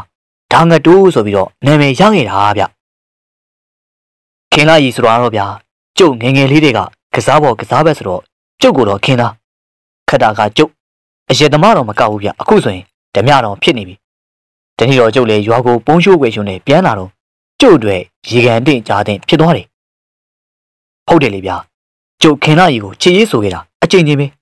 ဒါပေမဲ့ခင်လာကြီးရဲ့အကြည့်စင်းစင်းနဲ့ညင်းပယ်ခဲ့တဲ့စကားတန်ကျုပ်ခင်လာကြီးကိုတွေးမိရင်အလိုလိုဒေါသထွက်မိရဲ့ဗျာဒသူ့အပေါ်မှာအတမကချစ်တယ်ဆိုတာသူသိပါတယ်အခုလိုကျုပ်ပေါ်မှာစင်စင်ကာကာရှိနေမယ်လို့ထင်မှမထင်ခဲ့တာအခုလေကျုပ်နဲ့လူမိုက်ဘရွှေဓမြတိုက်တဲ့ရွှေတွေကနဲမှမနေရဘူးဗျဒါတွေကိုကျုပ်စုနေတာခင်လာကြီးအတွက်အဲ့ဒီညကျုပ်ခင်လာကြီးနဲ့တွေ့ပြီးတော့ကျုပ်ခေါ်လာမိတယ်ကျုပ်ဖြစ်ကိုတိလိုက်တဲ့ခင်လာကြီးက ငါတို့နင်ကကျေးဇူးကမ်းလိုက်တာပေါ့လေ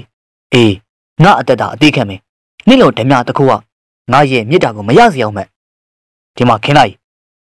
နင်ငါ့ကိုချစ်ချင်မချစ်ချင်နင့်ကငါရရင်တော်ရ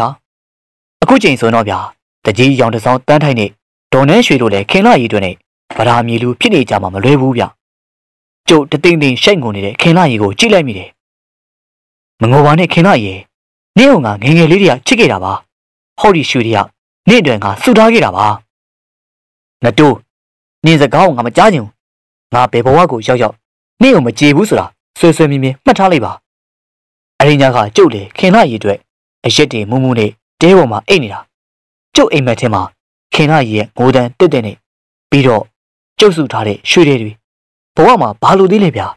အပျော်လွန်ပြီးတော့မင်္ဂလာပွဲအတွက်ဘလောက်ထိအိမ်မက်မက်နေမှမသိတော့ပါဘူးရှူတီရဲ့ထွက်ပေါ်လာတဲ့တနက်တန်တဲ့တူ အိမ်မက်မက်နေရကလှန့်နိုးပြီးတော့ခင်လာကြီးကိုမှတ်မိပြီးကျုပ်စိုးရိမ်လို့သွားတယ်တနက်တန်တဲ့တူခင်လာကြီးတွေစိုးရိမ်လို့អော်ပြီးပြေးခိုင်းနေတော့ကျုပ်ကြားလိုက်ရတဲ့ရေတံကျုပ်ကြည့်လိုက်တော့ကျုပ်ရင်ဝါမှာစီးကြနေတဲ့သွေးပြီးတော့ကျုပ်ကိုတနက်နဲ့ချိန်ပြီးတဘောကျစွာရေးနေတဲ့လူမိုက်ဘာရွှေဗျ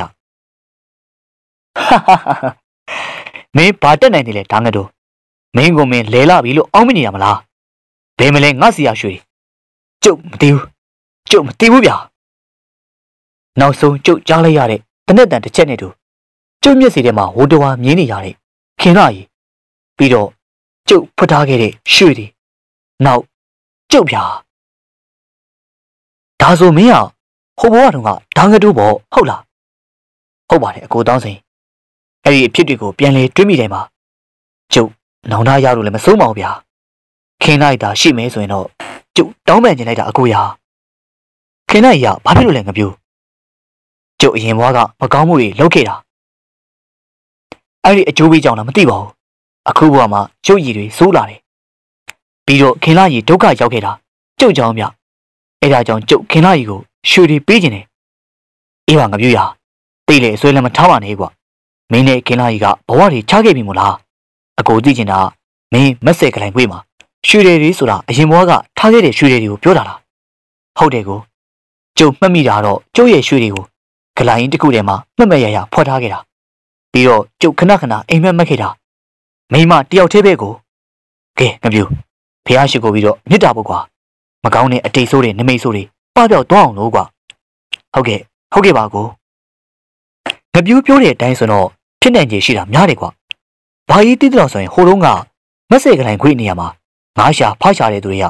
ရွှေစားငွေစားတွေရခဲ့ဘူးတယ်အဲမက်မက်ရရအဖသိမ်းထားခဲ့တဲ့ပစ္စည်းလေးတောင်ရှိတယ်ကွာဘာကြီးတုံကကြုတ်ပြောတာကိုသတိရပြီးဘူးလေးနဲ့ထည့်ထားတဲ့ကြောက်ကလေးကိုထုတ်ပြီးတော့ပြပါတယ်ကျုပ်လည်းအဲ့ဒီကြောက်လေးကိုကြည့်ပြီးတော့အံ့ဩသွားမိပြီ။ဘာကြီးထုံကျုပ်ကိုထုတ်ပြတဲ့ကြောက်ကကြောက်ကအနီလေးထူးထူးခြားခြားတောက်ပနေတာဖြစ်ပြီးတော့ဒီကြောက်ကအတုတ်ကိုထူပါလားဘာကြီးထုံ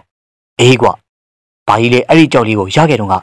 အိမ်မက်တွေထူးထူးခြားခြားမက်ခဲ့သေးတယ်။ဘယ်လိုအိမ်မက်တွေတော့อืมဒီလိုကွဘာကြီးမက်ဆယ်ကလိုင်ခွင့်မှာငားရှာရင်နဲ့ကြောက်နီလေးကိုရပြီးတော့ထူးထူးခြားခြားတကြတော့အိတ်လို့မရခဲ့ဘူး။ဘာကြီးနေတဲ့ချောင်းမိကတေးလေးမှာနေဝင်ဖြိုးပြတွေကမိစ္ဆာအော်တန်တွေကြားနေရတာကွာညီးတန်တွေကိုထူးထူးဆန်းဆန်းကြားတယ်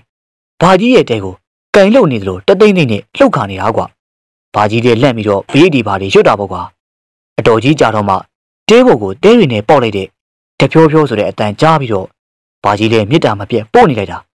မိစ္ဆာအော်တန်တွေမကြားတော့ဘူးကွာအဲ့ဒါဘာကြီးလည်းတဲကိုပြစ်ပြီးတော့ကိုဘမောင်ရဲ့တဲကိုတွားအေးရတယ်ကိုဘမောင်ကိုအဖြစ်ပြက်တွေပြောလိုက်တော့อืมမထုံ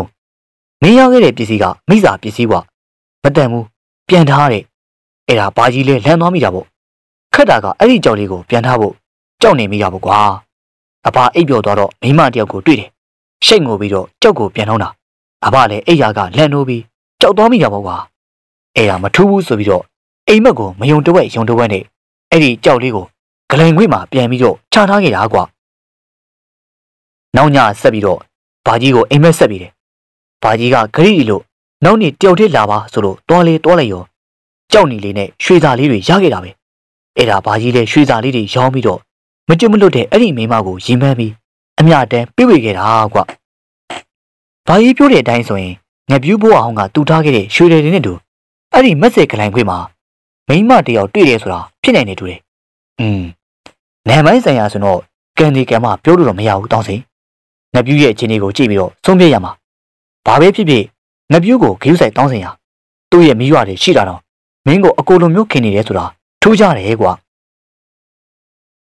အဲဒီတော့မှတော့ကျုပ်လေ စကားကောင်းနေကြတာအတော်မှောင်သွားတာနဲ့ဘာကြီးစီကလှန်ကိုယူပြီးလက်နေတမီနဲ့ပြန်လာခဲ့ပါတယ်။လန်တော်ဘကိုရောက်ကျောင်းလက်တဲ့အရောက်မှာတော့မမျော်လင့်မဲကြောင်းလိုက်တဲ့အတန်းတွေကတပန်းပွန်းနဲ့လှမ်းနေတဲ့ကျုပ်ရဲ့ခြေထောက်တွေတောင်အလိုလိုရက်သွားပြီးတော့ကြောက်လန့်သွားမိတဲ့အဖြစ်ထူးထူးခြားခြားချောင်းလက်တက်စီကကြားလိုက်ရတဲ့အတန်းကျုပ်တွေးမိတာကငားရှာတဲ့ဒေါင်းချောင်းကငထုံးတို့တွေအောက်မိပြီးတော့လက်သေးကဓမီနဲ့ထိုးကြည့်တော့ချောင်းလက်တက်ပါမှာဘာမှမတွေ့ပါဘူး ဒါပေမဲ့လေတပန်းပွန်းနဲ့ငါးပတ်တဲ့အတန်းကစက်တိုက်ကြားနေရပြီ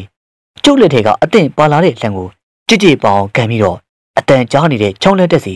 လက်နေတမီနဲ့ထိုးကြည့်လိုက်တော့ချောင်းလေးမှာကုန်းကုန်းကုန်းကုန်းနဲ့ကျုပ်ကိုကြိုးပေးပြီးငားပတ်နေတဲ့လူတစ်ယောက်ကျုပ်ချောင်းလေးမှာကုန်းကုန်းကြီးငားပတ်နေတဲ့လူကိုတွေ့ရတော့ဟာကနေတော့အတန်ထွက်သွားမိတယ်အဲ့ဒါနဲ့ကျုပ်လည်းအဖော်ရပြီဆိုပြီးအတန်ပြုတ်လိုက်မိတယ်လေမရလားပြုတ်อืม ကျုပ်ရဲ့မိတဲ့နဲ့တူအဲ့ဒီကုန်းကုန်းကြီးနဲ့ငားပတ်နေတဲ့လူကအင်းဆိုပြီးတော့မှငားနှစ်ကောင်ကိုလက်နဲ့မြှောက်ပြတယ်ဗျဘယ်နဲ့ဗျချောင်းလက်တဲ့ဆိုတာငားနေဖို့ခက်သားကျုပ်ကလည်းငားရှာဖားရှာတယ်သူဒါပေမဲ့ဒီလူပြတဲ့ငပက်ချင်းနှစ်ကောင်ကအတော့ကိုအချိန်စီတာဗျမယုံနိုင်အောင်ဖြစ်သွားတယ်ဗျကျုပ်ကငပက်တစ်ကောင်တော့ပေးပါလားဗျဟောကျုပ်ငပက်ချင်းနှစ်ကောင်တွေ့လို့ဂရုတော်မထားမိဘူးအဲ့ဒီငားပန်းနေတဲ့လူကိုကျုပ်ကတောင်းလိုက်မိတယ်ဗျအဲ့ဒီကမှ तू က ဘုံကနေဆိုပြီးတော့ပြစ်ချလိုက်တာကျုပ်ရှိစီကိုကြလာတဲ့အရာတခုထမင်းနဲ့ထိုးကြည့်လိုက်တော့ကျုပ်ကြက်တီတည်သွားမိတယ်ဗျာကျုပ်ရဲ့ရှေ့မှာတွေ့လိုက်ရတဲ့လှုပ်တီတပွားပွားနဲ့ခွေးတီကောင်အပုတ်တကောင်မြောက်ပုတ်စော်ကလည်းနမ်းလိုက်တာကျုပ်လည်းဘာမှမစင်စားပဲနဲ့အဲ့ဒီချောင်းလက်တက်ကနေအာသွန်ခုံဆိုင်ပြေးလာခဲ့တာချောင်းပြားကတဲကိုလည်းဘယ်လိုရောက်လာမှန်းတော့မသိပါဘူးဗျာကျုပ်တတိယလို့ကြည့်လိုက်တော့ကျုပ်ကိုစိုးရင်တကြီးစိုက်ကြည့်နေတဲ့ငပြူးနဲ့ကျုပ်ရဲ့မိမကိုတွေ့ရတယ်ဗျအကို ဘယ်လိုဖြစ်လာတာလဲပြောစမ်းပါဦးဟာငါငါ့ကိုတေးချုပ်လိုက်လို့ကွာဗျာအကိုတေးချုပ်လိုက်တယ်ဟုတ်လားဟုတ်တယ်ဟိုဟိုချောင်းလက်တက်ကကွာကျုပ်ဒါပဲပြောနိုင်ပြီးတော့ကျုပ်တကူလုံးမှာရှုံတွေကလည်းပေပေလူးလူးနဲ့ဖြစ်နေတာပေါ့ဗျာအဲ့ဒီချောင်းလက်တက်ကိုကျုပ်လည်းခဏခဏရောက်တာပဲကိုရဲ့တခါမှတော့တေးရဲချောက်မခံရပါဘူးအကိုကိုတေးရဲချောက်တယ်ဆိုတာထူးတယ်ဗျာဘာလို့လဲကွာဟာအကိုကလေအဲ့ဒီချောင်းလက်တက်မှာကျုပ်နဲ့ ငါအမြင့်ရှာနေကြတဲ့ငပိန်များဖြစ်နေမှာမသိဘူးဗျအဲ့ဒီကိုငပိန်ကအမြဲတမ်းငါရှာနေတာဆိုတော့သူများတွေငါရှာမှာဆိုပြီးအကိုကိုတေးရဲဆိုပြီးတော့ချုပ်လွတ်လိုက်တာနေမှာဟာမဖြစ်နိုင်ဘူးကွာအဲ့ဒီလူကငါးပတ်နေတော့မှငပတ်နှစ်ကောင်ရလို့ဆိုပြီးအကိုတောင်းတော့သူကအကိုငပတ်ကြီးတစ်ကောင်ဖြစ်ပေးတာအကိုလေးကြည့်လေရောခွေးဒီကောင်အပူကြီးဖြစ်နေဟာကွာနန်လိုက်တာလေလုံပါရောကွာအဲ့ဒါနဲ့အကိုလေးကြောက်ပြီးတော့ပြေးလာခဲ့တာကဲဒါဆိုလေနောက်ည ကျုပ်အဲ့ဒီချုံးလက်တက်ကိုသွားမယ်ကိုရဟာငပြူးကလည်းမသွားပါနဲ့ကွာဘာလို့လဲကိုဟာဒါလောက်ချုံးလက်တက်မှာဟိုလုံးကချင်းလေတစီဒီရိုက်ပြီးတော့ပောက်ခဲ့ဘူးလေကွာအဲ့ဒါမကြုံမလို့ရှိတဲ့သူတွေချုပ်တာလည်းဖြစ်ရင်ဖြစ်မှာပေါ့ကျုံငပြူးကိုပြောလို့သာပြောရတယ်ကျုံငါးရှာဖားရှာလာတာကြပါပြီဒီလိုတကားမှလည်းတရေတကားမှအချုပ်မခံရတာအမှန်ပဲဒါနဲ့ကျုပ်လေဘာကြီးတုံရဲ့စကားကိုအမှတ်ရပြီးတော့ဖျားစာတွေရွတ်နေမိတာပေါ့ဗျာအကိုအကို ထားစမ်းမအောင်ငပြိုးခုထိပြန်မလာသေးဘူးကျုပ်ဘလောက်ထိအိပ်ပျော်နေမှမသိပါဘူးကျုံမိမမြကြီးရဲ့ထိတိပြပြနှိုးရင်ပြောလိုက်တဲ့စကားကြောင့်ငပြိုးအတွက်လေစိုးရိမ်သွားတယ်မစိုးရိမ်လို့မဖြစ်ဘူးလေကျုပ်ကိုချောင်းလက်တက်ကတရေချောက်ခန်းရပြီးတဲ့ကငပြူးရဲ့အခြေအနေကတမျိုးထူးခြားနေတာကျုပ်တည်တယ်နေ့စဉ်ငပြူးကကွန်တလက်နဲ့ရောက်လာတဲ့ငါးတွေကစံတယ်စပားတယ်ကြားတော့တရွာလုံးကငပြူးကိုလည်းတဝဲစားလို့လို့ပြောလာတယ်ဗျငပြူးကဘယ်လိုသွားလို့လဲမြကြီး ညနေက9000ပဲဆိုပြီးထွက်သွားတာပဲတော်ကြီးအခုချိန်ကြီးပြန်မလာသေးဘူးအဲ့ဒါနဲ့ကျုပ်လေကမန်းကတမ်းပဲပစိုးကိုတူတူဝိတ်ထရံမှာထိုးထားတဲ့ဓာတ်ကိုယူပြီးတော့အပြေးတစ်ပိုင်းနဲ့ထွက်လာမိတယ်ဗျာပြောလို့သာပြောရတာတမိသားချင်းချပြီးတော့မွေးလာတဲ့ငပြူးကျုပ်နဲ့ငပြူးကဘယ်ဘဝကရေစက်လဲတော့မသိပါဘူးကျုပ်သူ့ပေါ်မှာတန်ရောစင်ကြီးမိတယ်ဗျကျုပ်လေချောင်းထဲရောက်ရောခိုင်းနယ်နဲ့ပလိုင်းကိုကြည့်ပြီးတော့ငပြိုးတွေစိုးရိမ်သွားတယ်အဲ့ဒါနဲ့ချောင်းမင်းနဲ့တိတ်မလန့်နဲ့ ကိုထူးရဲ့တဲကုန်းပြက်စီကိုအကြည့်ရောက်သွားလိုက်တော့တဲကုန်းပြက်ဆိုပေမဲ့ကိုထူးမနေတာကြပြီလေကိုထူးကရွာမှာတက်နေပြီးတော့ကွင်းလေးကတဲကုန်းမှာစရင်ကကိုကန်ထူးတို့လင်များပဲနေတာကျုပ်ကိုထူးရဲ့တဲကုန်းပြက်ကိုလည်းရောက်ရောရုတ်တရက်ကြားလိုက်တဲ့ညိတန်ကြီးပြရှင်တော်ထိတ်သွားမိတယ်အဲ့ဒါနဲ့ကျုပ်လည်းတဲရွက်ထဲကိုလက်နေတမီနဲ့ထိုးကြည့်လိုက်တော့မျက်လုံးတွေပြမတွက်ဖြစ်သွားခဲ့တာဆန့်ဆန့်ကြီးလဲပြီးတော့လက်ထဲမှာဓားမာလေးသူ့ရဲ့အလူလူနဲ့ငပြူးရဲ့အဖေးပြ ငပြူးငပြူးကျုံငပြူးကိုပွေ့ချင်ရင်ခေါ်လိုက်ပြီမေအင်းဆိုတဲ့အတန်ပဲပိုးလာတယ်ကျုပ်လည်းမတင်ကားလို့တဲပြက်ထဲကိုတမီနဲ့ထိုးကြည့်လိုက်တော့ကြက်သိန်းထစရာအဖြစ်အပိုင်ပိုင်အတစ်တစ်ဖြစ်နေတဲ့ငွေကောင်းပြက်ကြီးပြဟောပါဟိုမှာလာနေပြီငပြူးရဲ့ကြောက်လန့်တဲ့ကြားထွက်လာတဲ့စကားတန်ကြောင့်လက်သေးရဓာတ်ကိုကျုပ်ကြစ်ကြစ်ပေါင်းစုပ်ထားမိတယ်လေတေးရလူမနေလို့လားမသိပါဘူးပြက်စီးနေတာဗျအဲ့ဒါနဲ့ကျုပ်လည်းငပြူးကိုထမ်းပြီးတော့တဲစီကိုပြန်လာခဲ့တယ်ဗျ ကျုပ်နဲ့ငပြူးရဲ့ဖြစ်ကိုတွေ့တော့ကျုံမိမမြကြီးကလည်းကြောက်နေရှာတယ်လေငပြူးငပြူးတတိထားလေကွာငပြူးကျုပ်ကျုပ်ဘာမှမဖြစ်ဘူးနော်မင်းဘာမှမဖြစ်ပါဘူးငပြူးရမင်းကိုကိုတို့တဲကုန်းမြစ်မှာတတိမိပြီးတော့လဲနေရတွေ့လို့ပြန်ကိုလာခဲ့တာကွာဗျာကျုပ်ကျုပ်တဲကုန်းပြစ်မှာတတိမိနေတာဟုတ်လားကိုဟုတ်တယ်မင်းပြန်မလာတော့အကိုလိုက်ရှာလိုက်တော့ချောင်းထဲမှာမင်းထောင်ထားတဲ့ကိုင်းတန်းနဲ့ပလိုင်းကိုအရင်ဆုံးတွေ့တာပဲကွာဟုတ်တယ်ကို ကျုပ်ကိုင်းထောင်ပြီးတော့ငါးတွေအများကြီးရတာအဲ့ဒါမနိုင်လို့ပလိုင်းတော့မကောက်ဘူးငါးတွေကျိုးနေတည်ပြီးအဲ့ဒီတဲကုန်းပြစ်မှာတွားပြီးထတာအဲ့ဒီတဲထဲမှာမီးလုံနေတဲ့လူတစ်ယောက်ကိုကျုပ်တွေ့ရသေးတယ်ဗျအကိုရောက်လာတော့ဘာမှမတွေ့ပါဘူးငပြူရပြီးတော့မင်းမွေကြီးကိုတည်းဓာတ်နဲ့ခုတ်ခဲ့ကြတာဟုတ်တယ်မလားဗျာမွေကြီးဟုတ်လားဟုတ်တယ်လေကွာမင်းမွေကြီးကိုဓာတ်နဲ့ခုတ်တာအပိုင်ပိုင်ပြက်ပြက်ပဲကွာမင်းဖြစ်ကိုလည်းပြောစမ်းမအောင်ငပြူရအကောကတော့မင်းကိုတွေ့ရုံနဲ့မကောက် မွေကြီးကိုပါတွေ့လိုက်ရတော့ကြက်သိန်းနေထနေပြီတာအမှန်ပဲကွာဒီလိုကိုရအကိုတို့ကြောက်လွတ်လိုက်တဲ့တဲရကျုပ်ငပိမဲဖြစ်မယ်ဆိုပြီးမတင်ကြတာနဲ့အချင်းကြီးသိအောင်အဲ့ဒီချောင်းသားမှာငားသွားပြီးတော့ထောင်းခဲ့တာကျုပ်အဲ့ဒီချောင်းထဲကိုရောက်တော့ငါးပွဲတဲ့အတန်လေးတဝုံဝုံကြလို့ကျုပ်တော့အံ့ဩသွားမိတယ်ဒါနဲ့ကျုပ်လည်းချောင်းဘေးမှာငါးကိန်းနဲ့ထောင်းနေတာရလိုက်တဲ့ငါးတွေကလည်းအများကြီးပဲကိုရကျုပ်လည်းဂိုင်းနဲ့ကငါးတွေကိုဖြုတ်လိုက်အစာတက်လိုက်နဲ့ပလိုင်းနေပြည့်ရောမိုးရီရွာလာနေတယ် ကျုပ်ချင်းလာတာအဲ့ဟာနဲ့ကျုပ်လည်းပါသွားတဲ့အချက်ကိုတုံနေမိတာလေကျုပ်ပလိုင်းနေတော့မကပါဘူးကိုရဲ့နောက်ထပ်ရတဲ့ငါးတွေကိုကျုံးနေတည်ပြီးမနိုင်လို့ဆိုပြီးကြည့်လိုက်တော့တေကုန်းပြက်စီကမီးအောင်တွေ့တာနဲ့အရက်ပလင်းခါထိုးပြီးတော့ကျုပ်သွားလိုက်တာအဲ့ဒီတော့မင်းတွေ့ခဲ့တဲ့လူတွေ့ရောလားမတွေ့ဘူးကိုကျုပ်တေးပြက်ကိုရောက်တော့မှောင်မင်းနေတာပဲဒါနဲ့ကျုပ်လည်းမီးမြန်ဖို့ပြီးတော့အရက်နဲ့တောက်ဖို့အမီးလိုတာနဲ့ငါးတကောင်မိခင်ထားလိုက်တာအဲ့ဒီချိန်မှာဗျာ ကျုပ်ထောင်ထားတဲ့ချောင်းလေးကငါးပွက်တန်တွေထက်ကြလို့ဆိုပြီးဂိုင်းထဲမှာငါးမိပြီဆိုပြီးတော့မှဓာတ်ယူပြီးတော့တောလိုက်တာဂိုင်းတန်းစီကိုရောက်တော့မီးဥဆောင်နဲ့လည်းကြည့်လိုက်ရောငါတကောင်မှမတွေ့ဘူးဗျဟေးဟုတ်တယ်ကိုအဲ့ဒါနဲ့ကျုပ်လေငဇာရီပြန်တက်ပြီးတော့တဲကိုပြန်ရောက်တော့အရက်နဲ့မြည်ဖို့กินထားတဲ့ငါကလေမရှိတော့ဘူးဗျာငပြူးကကျုပ်ကိုပြောရင်းနဲ့ထိတ်လန့်နေတဲ့မျက်နှာနဲ့ဟိုကြည့်ဒီကြည့်လုံနေပါတယ်ငပြူးမင်းဘာကြီးကြည့်ညာလဲကွာကျုပ် ကျုပ်တွေ့ခဲ့ရတဲ့လူရဲ့မျက်နှာကိုဗျမျက်စိတွေမှာဖြုတ်လို့မရဘူးကိုရဲ့အဲ့ဒီလူကိုကျုပ်တို့ကွင်းဘက်မှာလေတခါမှမတွေ့ဘူးဗျမျက်နှာတော့ကြောက်စရာကြီးပါဗျာပြီးတော့ဝေထားတဲ့ပစိုးကလည်းအကွက်ကြီးကတုံးကပြောင်ပြောင်နဲ့အသားကလေမဲချိတ်နေရဗျအဲ့ဒါနဲ့ကျုပ်လေအရင်နဲ့မြည်ဖို့กินထားတဲ့ငားကင်ပြောက်လို့လိုက်ချတာဘယ်မှမတွေ့ဘူးဗျပြီးတော့ကျုပ်ရဲ့အရက်ပလင်းတွေကအရက်တွေကလေလျှော့နေတာဒါနဲ့ဒေါသဖြစ်ပြီးတော့ကျုပ်အော်ဆေးလိုက်မိတယ်ဘာလို့ဆေးတာလဲငါပြူရ ကွင်းထဲချောင်းထဲမှာကိုစိမ့်ရင်ကွင်းမိုင်တွေကမကြိုက်ဘူးကွာမင်းတော့တော်တော်ခက်တာပဲကျုပ်မဆဲပဲနေပါမလားကိုရကျုပ်ရဲ့အရက်ပလင်းကလူမရှိပဲလျှော့နေရလေပြီးတော့ကျုပ်กินထားတဲ့ငားကင်ဒါနဲ့ကျုပ်လေတေးပြက်အနှံ့ကိုလိုက်ပြီးတော့ရှာကြည့်တော့ဘာမှမတွေ့ဘူးအဲ့ဟာနဲ့ကျုပ်ကော်ဆဲပြီးတော့အရင်နဲ့မြည်ဖို့ငားတကောင်ထက်ပြီးကင်းနေတော့အဲ့ဒီလူကြီးကရောက်လာတယ်ကျုပ်ကိုစကားမပြောဘူးဗျကျုပ်လည်းလက်ထဲမှာဓားကင်ပြီးတော့အစင်နဲ့နေလိုက်တာပေါ့လေငားရှာဖားရှာနေတာမဟုတ်လား ကိုင်းနေချောင်းထဲမှာပြောမဆိုမှရင်ဒုက္ခရောက်မှာမဟုတ်လားပြီးတော့ဟိုတလောကပဲနင့်ကိုမိချောင်းဆွေတာကံကောင်းလို့မသေးခဲ့တာမဟုတ်လားတဲ့ဟုတ်တယ်ငပြူအကိုသွားပြီးတော့မင်းအတွက်တောင်းပန်မှာဖြစ်မယ်ကွာပြီးတော့အကိုတို့ဖေကြုံခဲ့တဲ့မိချောင်းဖြစ်ကလွဲလို့တခါမှမိချောင်းရှိတယ်ဆိုတာမကြားခဲ့ဘူးမတွေ့ခဲ့ဘူးကွာမင်းကျမမိချောင်းနဲ့ကြုံခဲ့ရတယ်ဆိုတာထူးထူးဆန်းဆန်းပဲငပြူရဟာတောင်းစင်ဖဲလေလက်ထဲမှာလည်းအရက်ပလင်းနေနေပါလားကွာ ဩဘာကြီးရင်မောင်ကျုပ်ဟိုတဲကုန်းမြက်ကိုသွားမလို့ဗျဟေးခဏထိုင်စမ်းမအောင်မောင်တောင်းစင်ရဘာကိစ္စလဲဘာကြီးကိုလည်းပြောစမ်းမအောင်ကွာမင်းကဘာလို့အဲ့ဒီတဲကုန်းမြက်ကိုသွားမှာတော့အဲ့ဟာနဲ့ကျုပ်လေအဲ့ဒါနဲ့ကျုပ်လေတညထုံကငပြူးကြုံခဲ့တဲ့ဖြစ်ကိုပြန်လေပြောလိုက်တော့ဘာကြီးရင်မောင်ကအံ့ဩနေတယ်ဗျမိုက်လိုက်တဲ့ငပြူးကွာတကယ်ဆိုရင်မိမိမြင်မြန်လှုပ်ပါအောင်လားမင်းပြောတဲ့အတိုင်းဆိုတော့ ငပြူးမသေးတာပဲအတုတ်ကိုကန်ကြီးတယ်လို့ပြောရမှာကွာဟုတ်တယ်အဲ့ဒီကိုထူးတဲကုန်းပြက်ကဘာဖြစ်လို့လဲဘာကြီး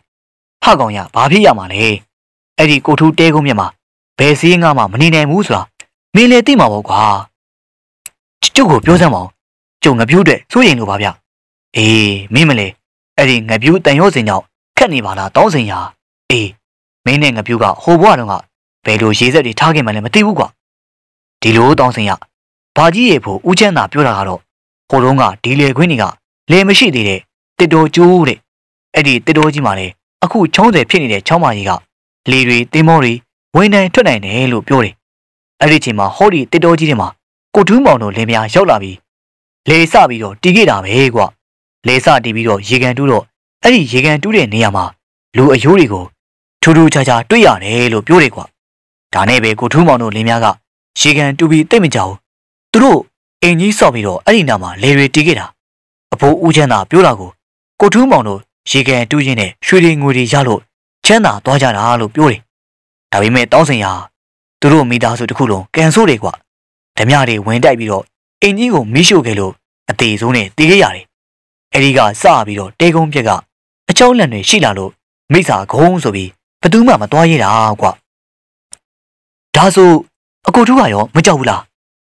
ကိုထူးကအဲ့ဒီလေတွေဝဲပြီးတော့အလိုတန်းပေးပြီးအမြောက်ဝေလို့မိစာကုန်းကနာနာဘဝတွေအချောက်လန့်နေခဲ့တာလို့တော့ပြောတာပဲ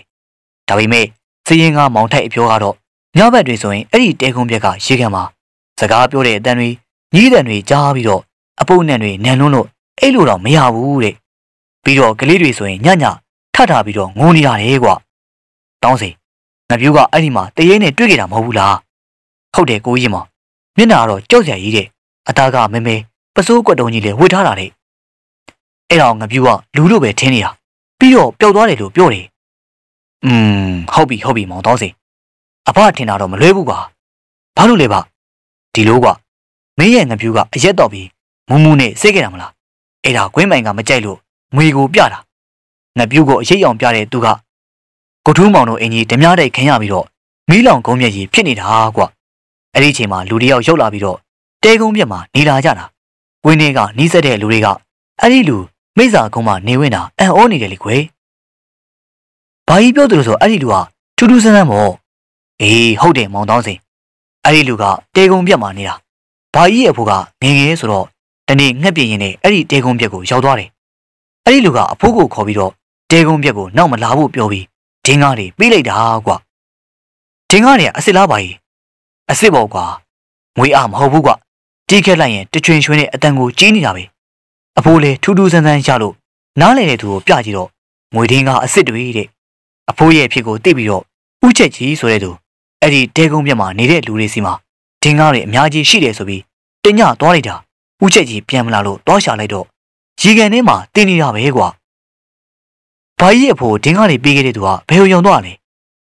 အေးဥချက်ကြီးတင်းမဲညမှာရွာနီးချိုးစက်နဲ့ကွင်းလေးကလူတွေကြားတာကတော့ အဲ့ဒီတဲကုန်းပြက်မှာငှက်ဆိုးထိုးတဲ့နေကြားပြီးခွေးရတွေထူးထူးခြားခြားဦးတန်းကြားရတယ်တဲ့မနဲ့လင်းလို့အဲ့ဒီတဲကုန်းပြက်ကိုတွားကြည့်တဲ့တော့ဥချက်ကြီးရဲ့အလောင်းကိုပဲတွေ့ရတော့တာအဲ့ဒီကလေးကဥချက်ကြီးကမကျွတ်မလို့ဖ ೇನೆ ချုပ်လက်နေတယ်လို့ပြောကြတာပဲမင်းရဲ့ငပြူကြုံခဲ့တယ်ဆိုတာဥချက်ကြီးပဲဖြစ်နိုင်တယ်ကွာမောင်တောင်းစင်ရဒီတော့တောင်းစင်မင်းငပြူကိုလည်းသတိပေးလိုက်အောင်ကွာကွင်းမိုင်ကိုလည်းတောင်းပန်လိုက်ပေါ့ဝေမာနီးကပိတ်တာရေးဆိုတာမမြင်အပ်တဲ့သူတွေကွာကန်နေမှာမြင်ရတာကွာ ကျုပ်လေဘာကြီးမောင်ကိုနှုတ်ဆက်ပြီးတော့ကိုထူးရဲ့တေကုန်းမျက်စီကိုလာခဲ့မိတယ်ကြောက်ကြောက်နဲ့လာရင်းနဲ့တဲပြက်နာကိုရောက်တော့ကြားလိုက်ရတဲ့ညီးတန်ကြီးကြက်သိမ်းမွင်းကြီးနေထောင်ထပြီးတော့ကမန်းကရန်ပဲကြိတ်လိုက်မိတယ်ဗျာမင်းညာကငပြူးရဲ့ဆိုကြောင့်ကျုပ်တဲပြက်တဲ့ကိုရောက်ခဲ့တုန်းကဂယုမပြုတ်မိပါဘူးအခုဆိုရင်ကျုပ်ကြားနေရတဲ့ညီးတန်ကြီးကဘာကြီးမောင်ပြောတဲ့ဦးချက်ကြီးလားကျုပ်တွေးမိရင်နဲ့ကိုကိုပင်ရဲ့အရင်မှာထမင်းတို့ရဲ့အရက်ပလင်းရဲ့ငားကင်ရဲ့ချပြီးတော့ အချင်းကြီးကိုစောင့်ကြည့်နေတယ်။ညီးတန်ကြီးကအဆက်မပြတ်ပေါ်လာသလိုကျုပ်တေးပြက်တဲ့ကိုတိုးကပ်ပြီးတော့ကြည့်လိုက်တော့ကျုပ်ပါဇက်ကရောင်ရမ်းပြီးအတန်တော်ထွက်သွားမိတယ်ဗျာ။ကျုပ်ကိုကြိုးပေးပြီးတော့ခိုညီညီးနေတဲ့ကျုပ်တရေကိုကြည့်ပြီးတော့နှင်းတက်တောင်သွားမိတယ်ဗျာ။ဘယ်သူလဲ။ရုတ်တရက်ကြားလိုက်ရတဲ့အတန်ကြောင့်ကျုပ်တုံတုံတုံသွားမိတယ်။ကြည်စမ်းမောင်ကတုံးပြောင်ပြောင်အသားမင်းမင်းနဲ့ပစိုးကွက်တုံဝတ်ထားတဲ့တရေ ကျုပ်လည်းပြစ်ချင်တာဖြစ်ဆိုပြီးတော့ဓာတ်ကင်ပြီးတော့တေးပေါ်ကိုကမန်းကရမ်းပဲပြေးတက်သွားလိုက်တာ။အမလေးကျုပ်ကိုကျုပ်ဘယ်လိုဖြစ်သွားမှန်းတော့မသိပါဘူးဗျာ။ကျုပ်ကျမ်းပေါ်ကိုအနည်းကြားလိုက်ရတဲ့အတန်နဲ့တူကျုပ်စီကိုတစ်ချိန်လိုပြေးလာတဲ့တရေဗျ။ကျုပ်လည်းလက်အောင်မရင်နဲ့ခေါင်းရီအောင်ကြာကြာလဲမူးသွားတယ်ဗျာကျုပ်တတိနည်းနည်းပြေးသလိုဖြစ်သွားတဲ့ချိန်ကျုပ်ရဲ့လက်မောင်းတစ်ဖက်ကိုလက်ကျန်းရှက်ရှကြီးကဆွဲကင်ထားတာကိုခံလိုက်ရတယ်ဗျဟဲ့လူတတိထားလေဗျာတတိထား ကျုပ်အတန်ကြားလို့မော့ကြည့်လိုက်တော့လူတယောက်ကအဲ့လိုပြောပြီး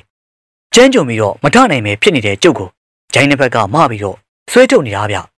ကျုပ်အတော်လေးကိုလေလန့်သွားမိတယ်ဗျာခင်ဗျာတတိကျုပ်တရေမဟုတ်ပါဘူးဗျာလူပါဗျလူပါကျုပ်ဖျားနေလို့ကျုပ်ကိုဂျိုင်းကဆွဲမရင်းနဲ့တုံတုံရင်းနဲ့စကားနဲ့ပြောနေလို့ကျုပ်အဲ့ဒီလူရဲ့လက်ကိုမရဲတည်းနဲ့ကန်ကြီးလိုက်တော့အေးဆက်နေရပဲဗျကဲမြန်မြန်ထားဗျ ကျုပ်မရတာမနိုင်တော့အဲ့ဒီလူရဲ့အတန်ကိုကြားတော့မှကြုံကြနေတဲ့ကျမ်းမြင်ကိုမနေကုံယုံပြီးတော့ထလိုက်မိတယ်ကျုပ်ကျမ်းညုံတုံးကိုဆွဲမရင်းနဲ့တဟင်းဟင်းနဲ့အပြားတက်နေတဲ့အတန်ကပေါ်လာပြန်တယ်ခမရတရေမဟုတ်ပါဘူးနော်မဟုတ်ပါဘူးဗျာကျုပ်ကလူပါကုံရောင်းကုံဝယ်လာရင်းနဲ့ကျုပ်ရဲ့တံပန်ဒီရီမိပြီးတော့မင်းညတွေကမှောက်ခဲ့လို့ဗျကြောင်းငယ်မော်ကိုရောက်မှကျုပ်ထမင်းမစားရတာသုံးလေးရက်ရှိနေပါပြီဗျာ အဲ့ဒါနဲ့ကျုပ်လေငပြိုးတွေတောင်းပန်မယ်ဆိုပြီးယူလာတဲ့ထမင်းတုံးနဲ့ခွင်းမှန်ကြီးကိုမြှော့ပြီးတော့ထမင်းငားကင်နဲ့အရက်ပလင်းယူပြီးတော့ကျွေးလိုက်တယ်ဗျာကဲစားဗျာအခုတိုင်းဆိုရင်ခမအတော်လေးကိုဒုက္ခရောက်နေသူမဟုတ်ဘူးလားကျုပ်တက်နေတယ်မြကူညီရမှာပေါ့ခမစကားကြားရတော့ဟိုညတော့ကငားရှာလာတဲ့လူနဲ့တခြားစီဖြစ်နေတယ်ဗျ။ညာဒါဆိုခမ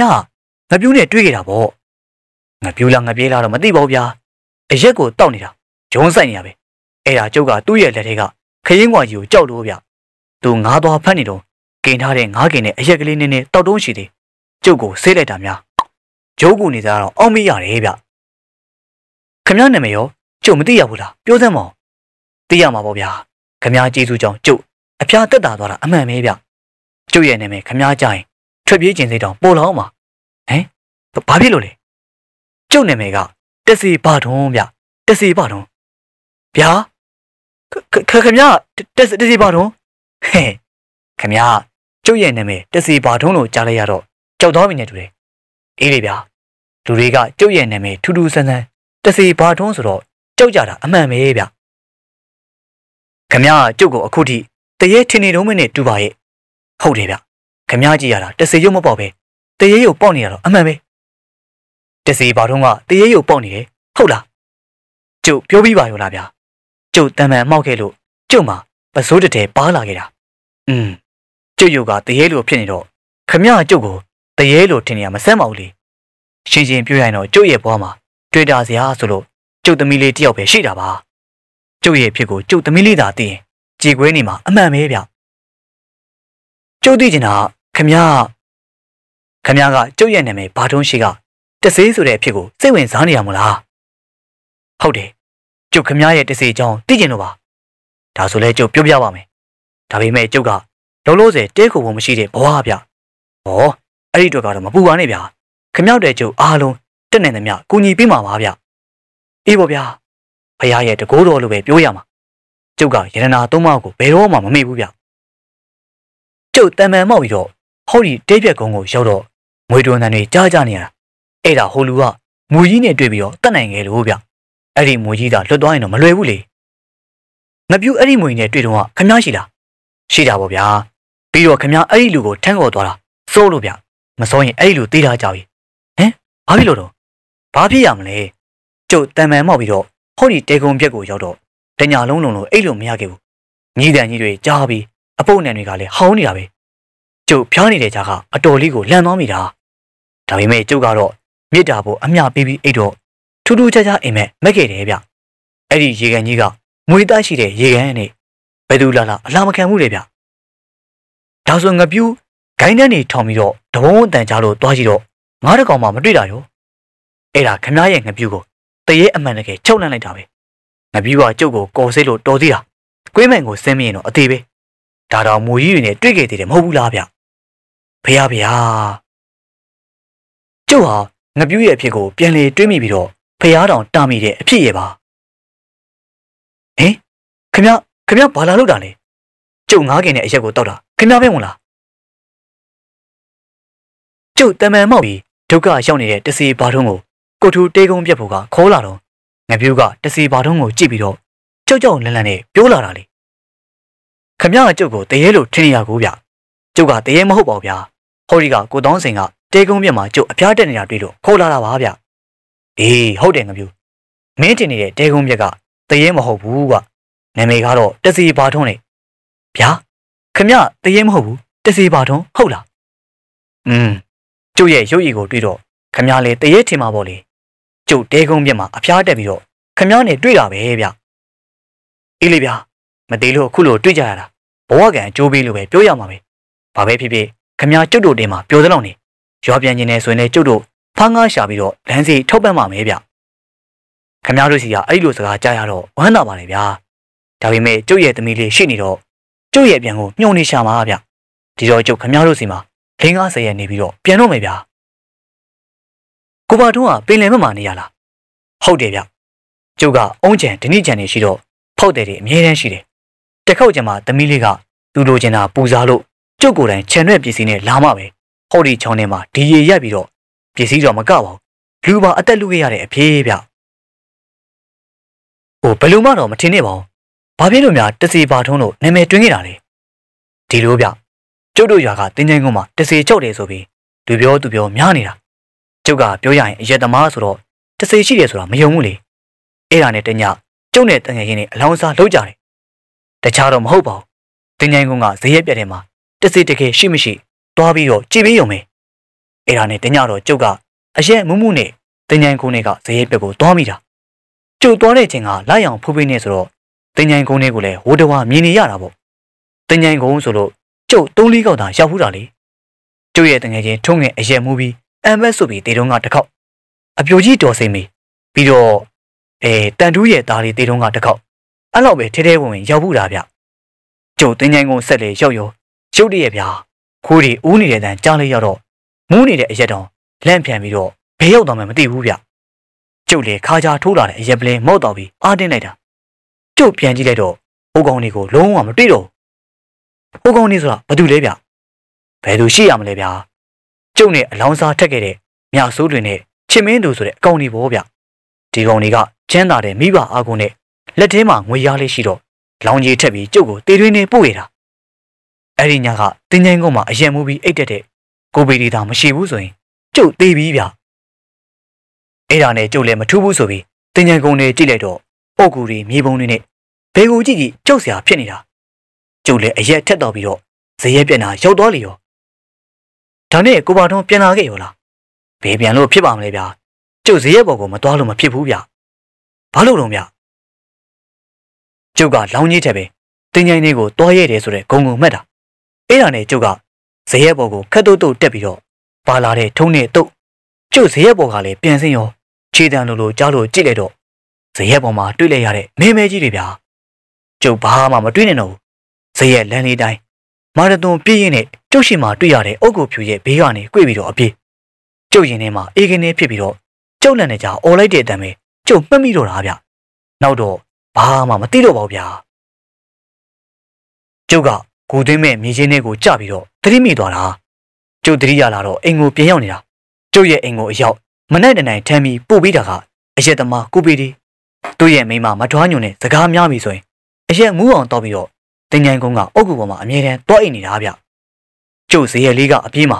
အုတ်ကူပေါ်ကကိုပီတီမူးအိမ်နေတာကျုပ်မသိဘူးလေဗျာကျင်းနေပြုတ်ကြတော့မှကိုပီတီကတရေချောက်တယ်ဆိုပြီးလက်အော်သေးတယ်နောက်တော့မှကျုပ်ကိုတွေ့တာနဲ့ရွာကိုပြန်ပြီးခေါ်လာခဲ့တာဗျ အဲဒီကစပြီးကျုပ်နာမည်ဘာထုံးရှိကတစီဆိုပြီးတော့ရွာမှာနာမည်တွင်ခဲ့တာပဲဗျို့ကဲကိုဘာထုံးမအိပ်သေးဘူးလားအိတ်လေဗျာကျုပ်မအိတ်နိုင်သေးပါဘူးဗျာကျုပ်ရဲ့သမီးလေးကြောင့်တွေးနေပြီလို့ကိုပါထွန်းရဲ့သမီးကဘယ်ရွယ်ရှိပြီလဲဗျอืมကျုပ်ရဲ့သမီးကအခုဆိုတော့10နှစ်ကျော်ပြီဗျသူ့အမေသာရှင်ဘလောက်များဝမ်းသာရှာမလဲမသိပါဘူးဗျာကဲပါကိုပါထွန်းရဲ့ဒါတွေတွေးပြီးတော့စင်မကောင်းလေးဖြစ်မနေပါနဲ့ ခမ ्या ကျမ်းမာရေးကောင်းနေဆိုရင်ခမ ्या သမီးလေးစီကိုပြန်လို့ရောက်ပါပြီအေးရေးပြတ်တယ်ဆိုရင်ထပ်ပြီးဖျားနေအောင်မယ်ကျုပ်အတန်းတန်းအိတ်ခိုင်းတော့မှတစီဘာထုံးကဆေးတော့ပြီးအိတ်သွားပါတယ်ထူးထူးဆန်းဆန်းကြုံခဲ့ရတဲ့တစီဘာထုံးရဲ့အဖြစ်ကိုအတွေးတွေဆက်တွေးနေမိပြီ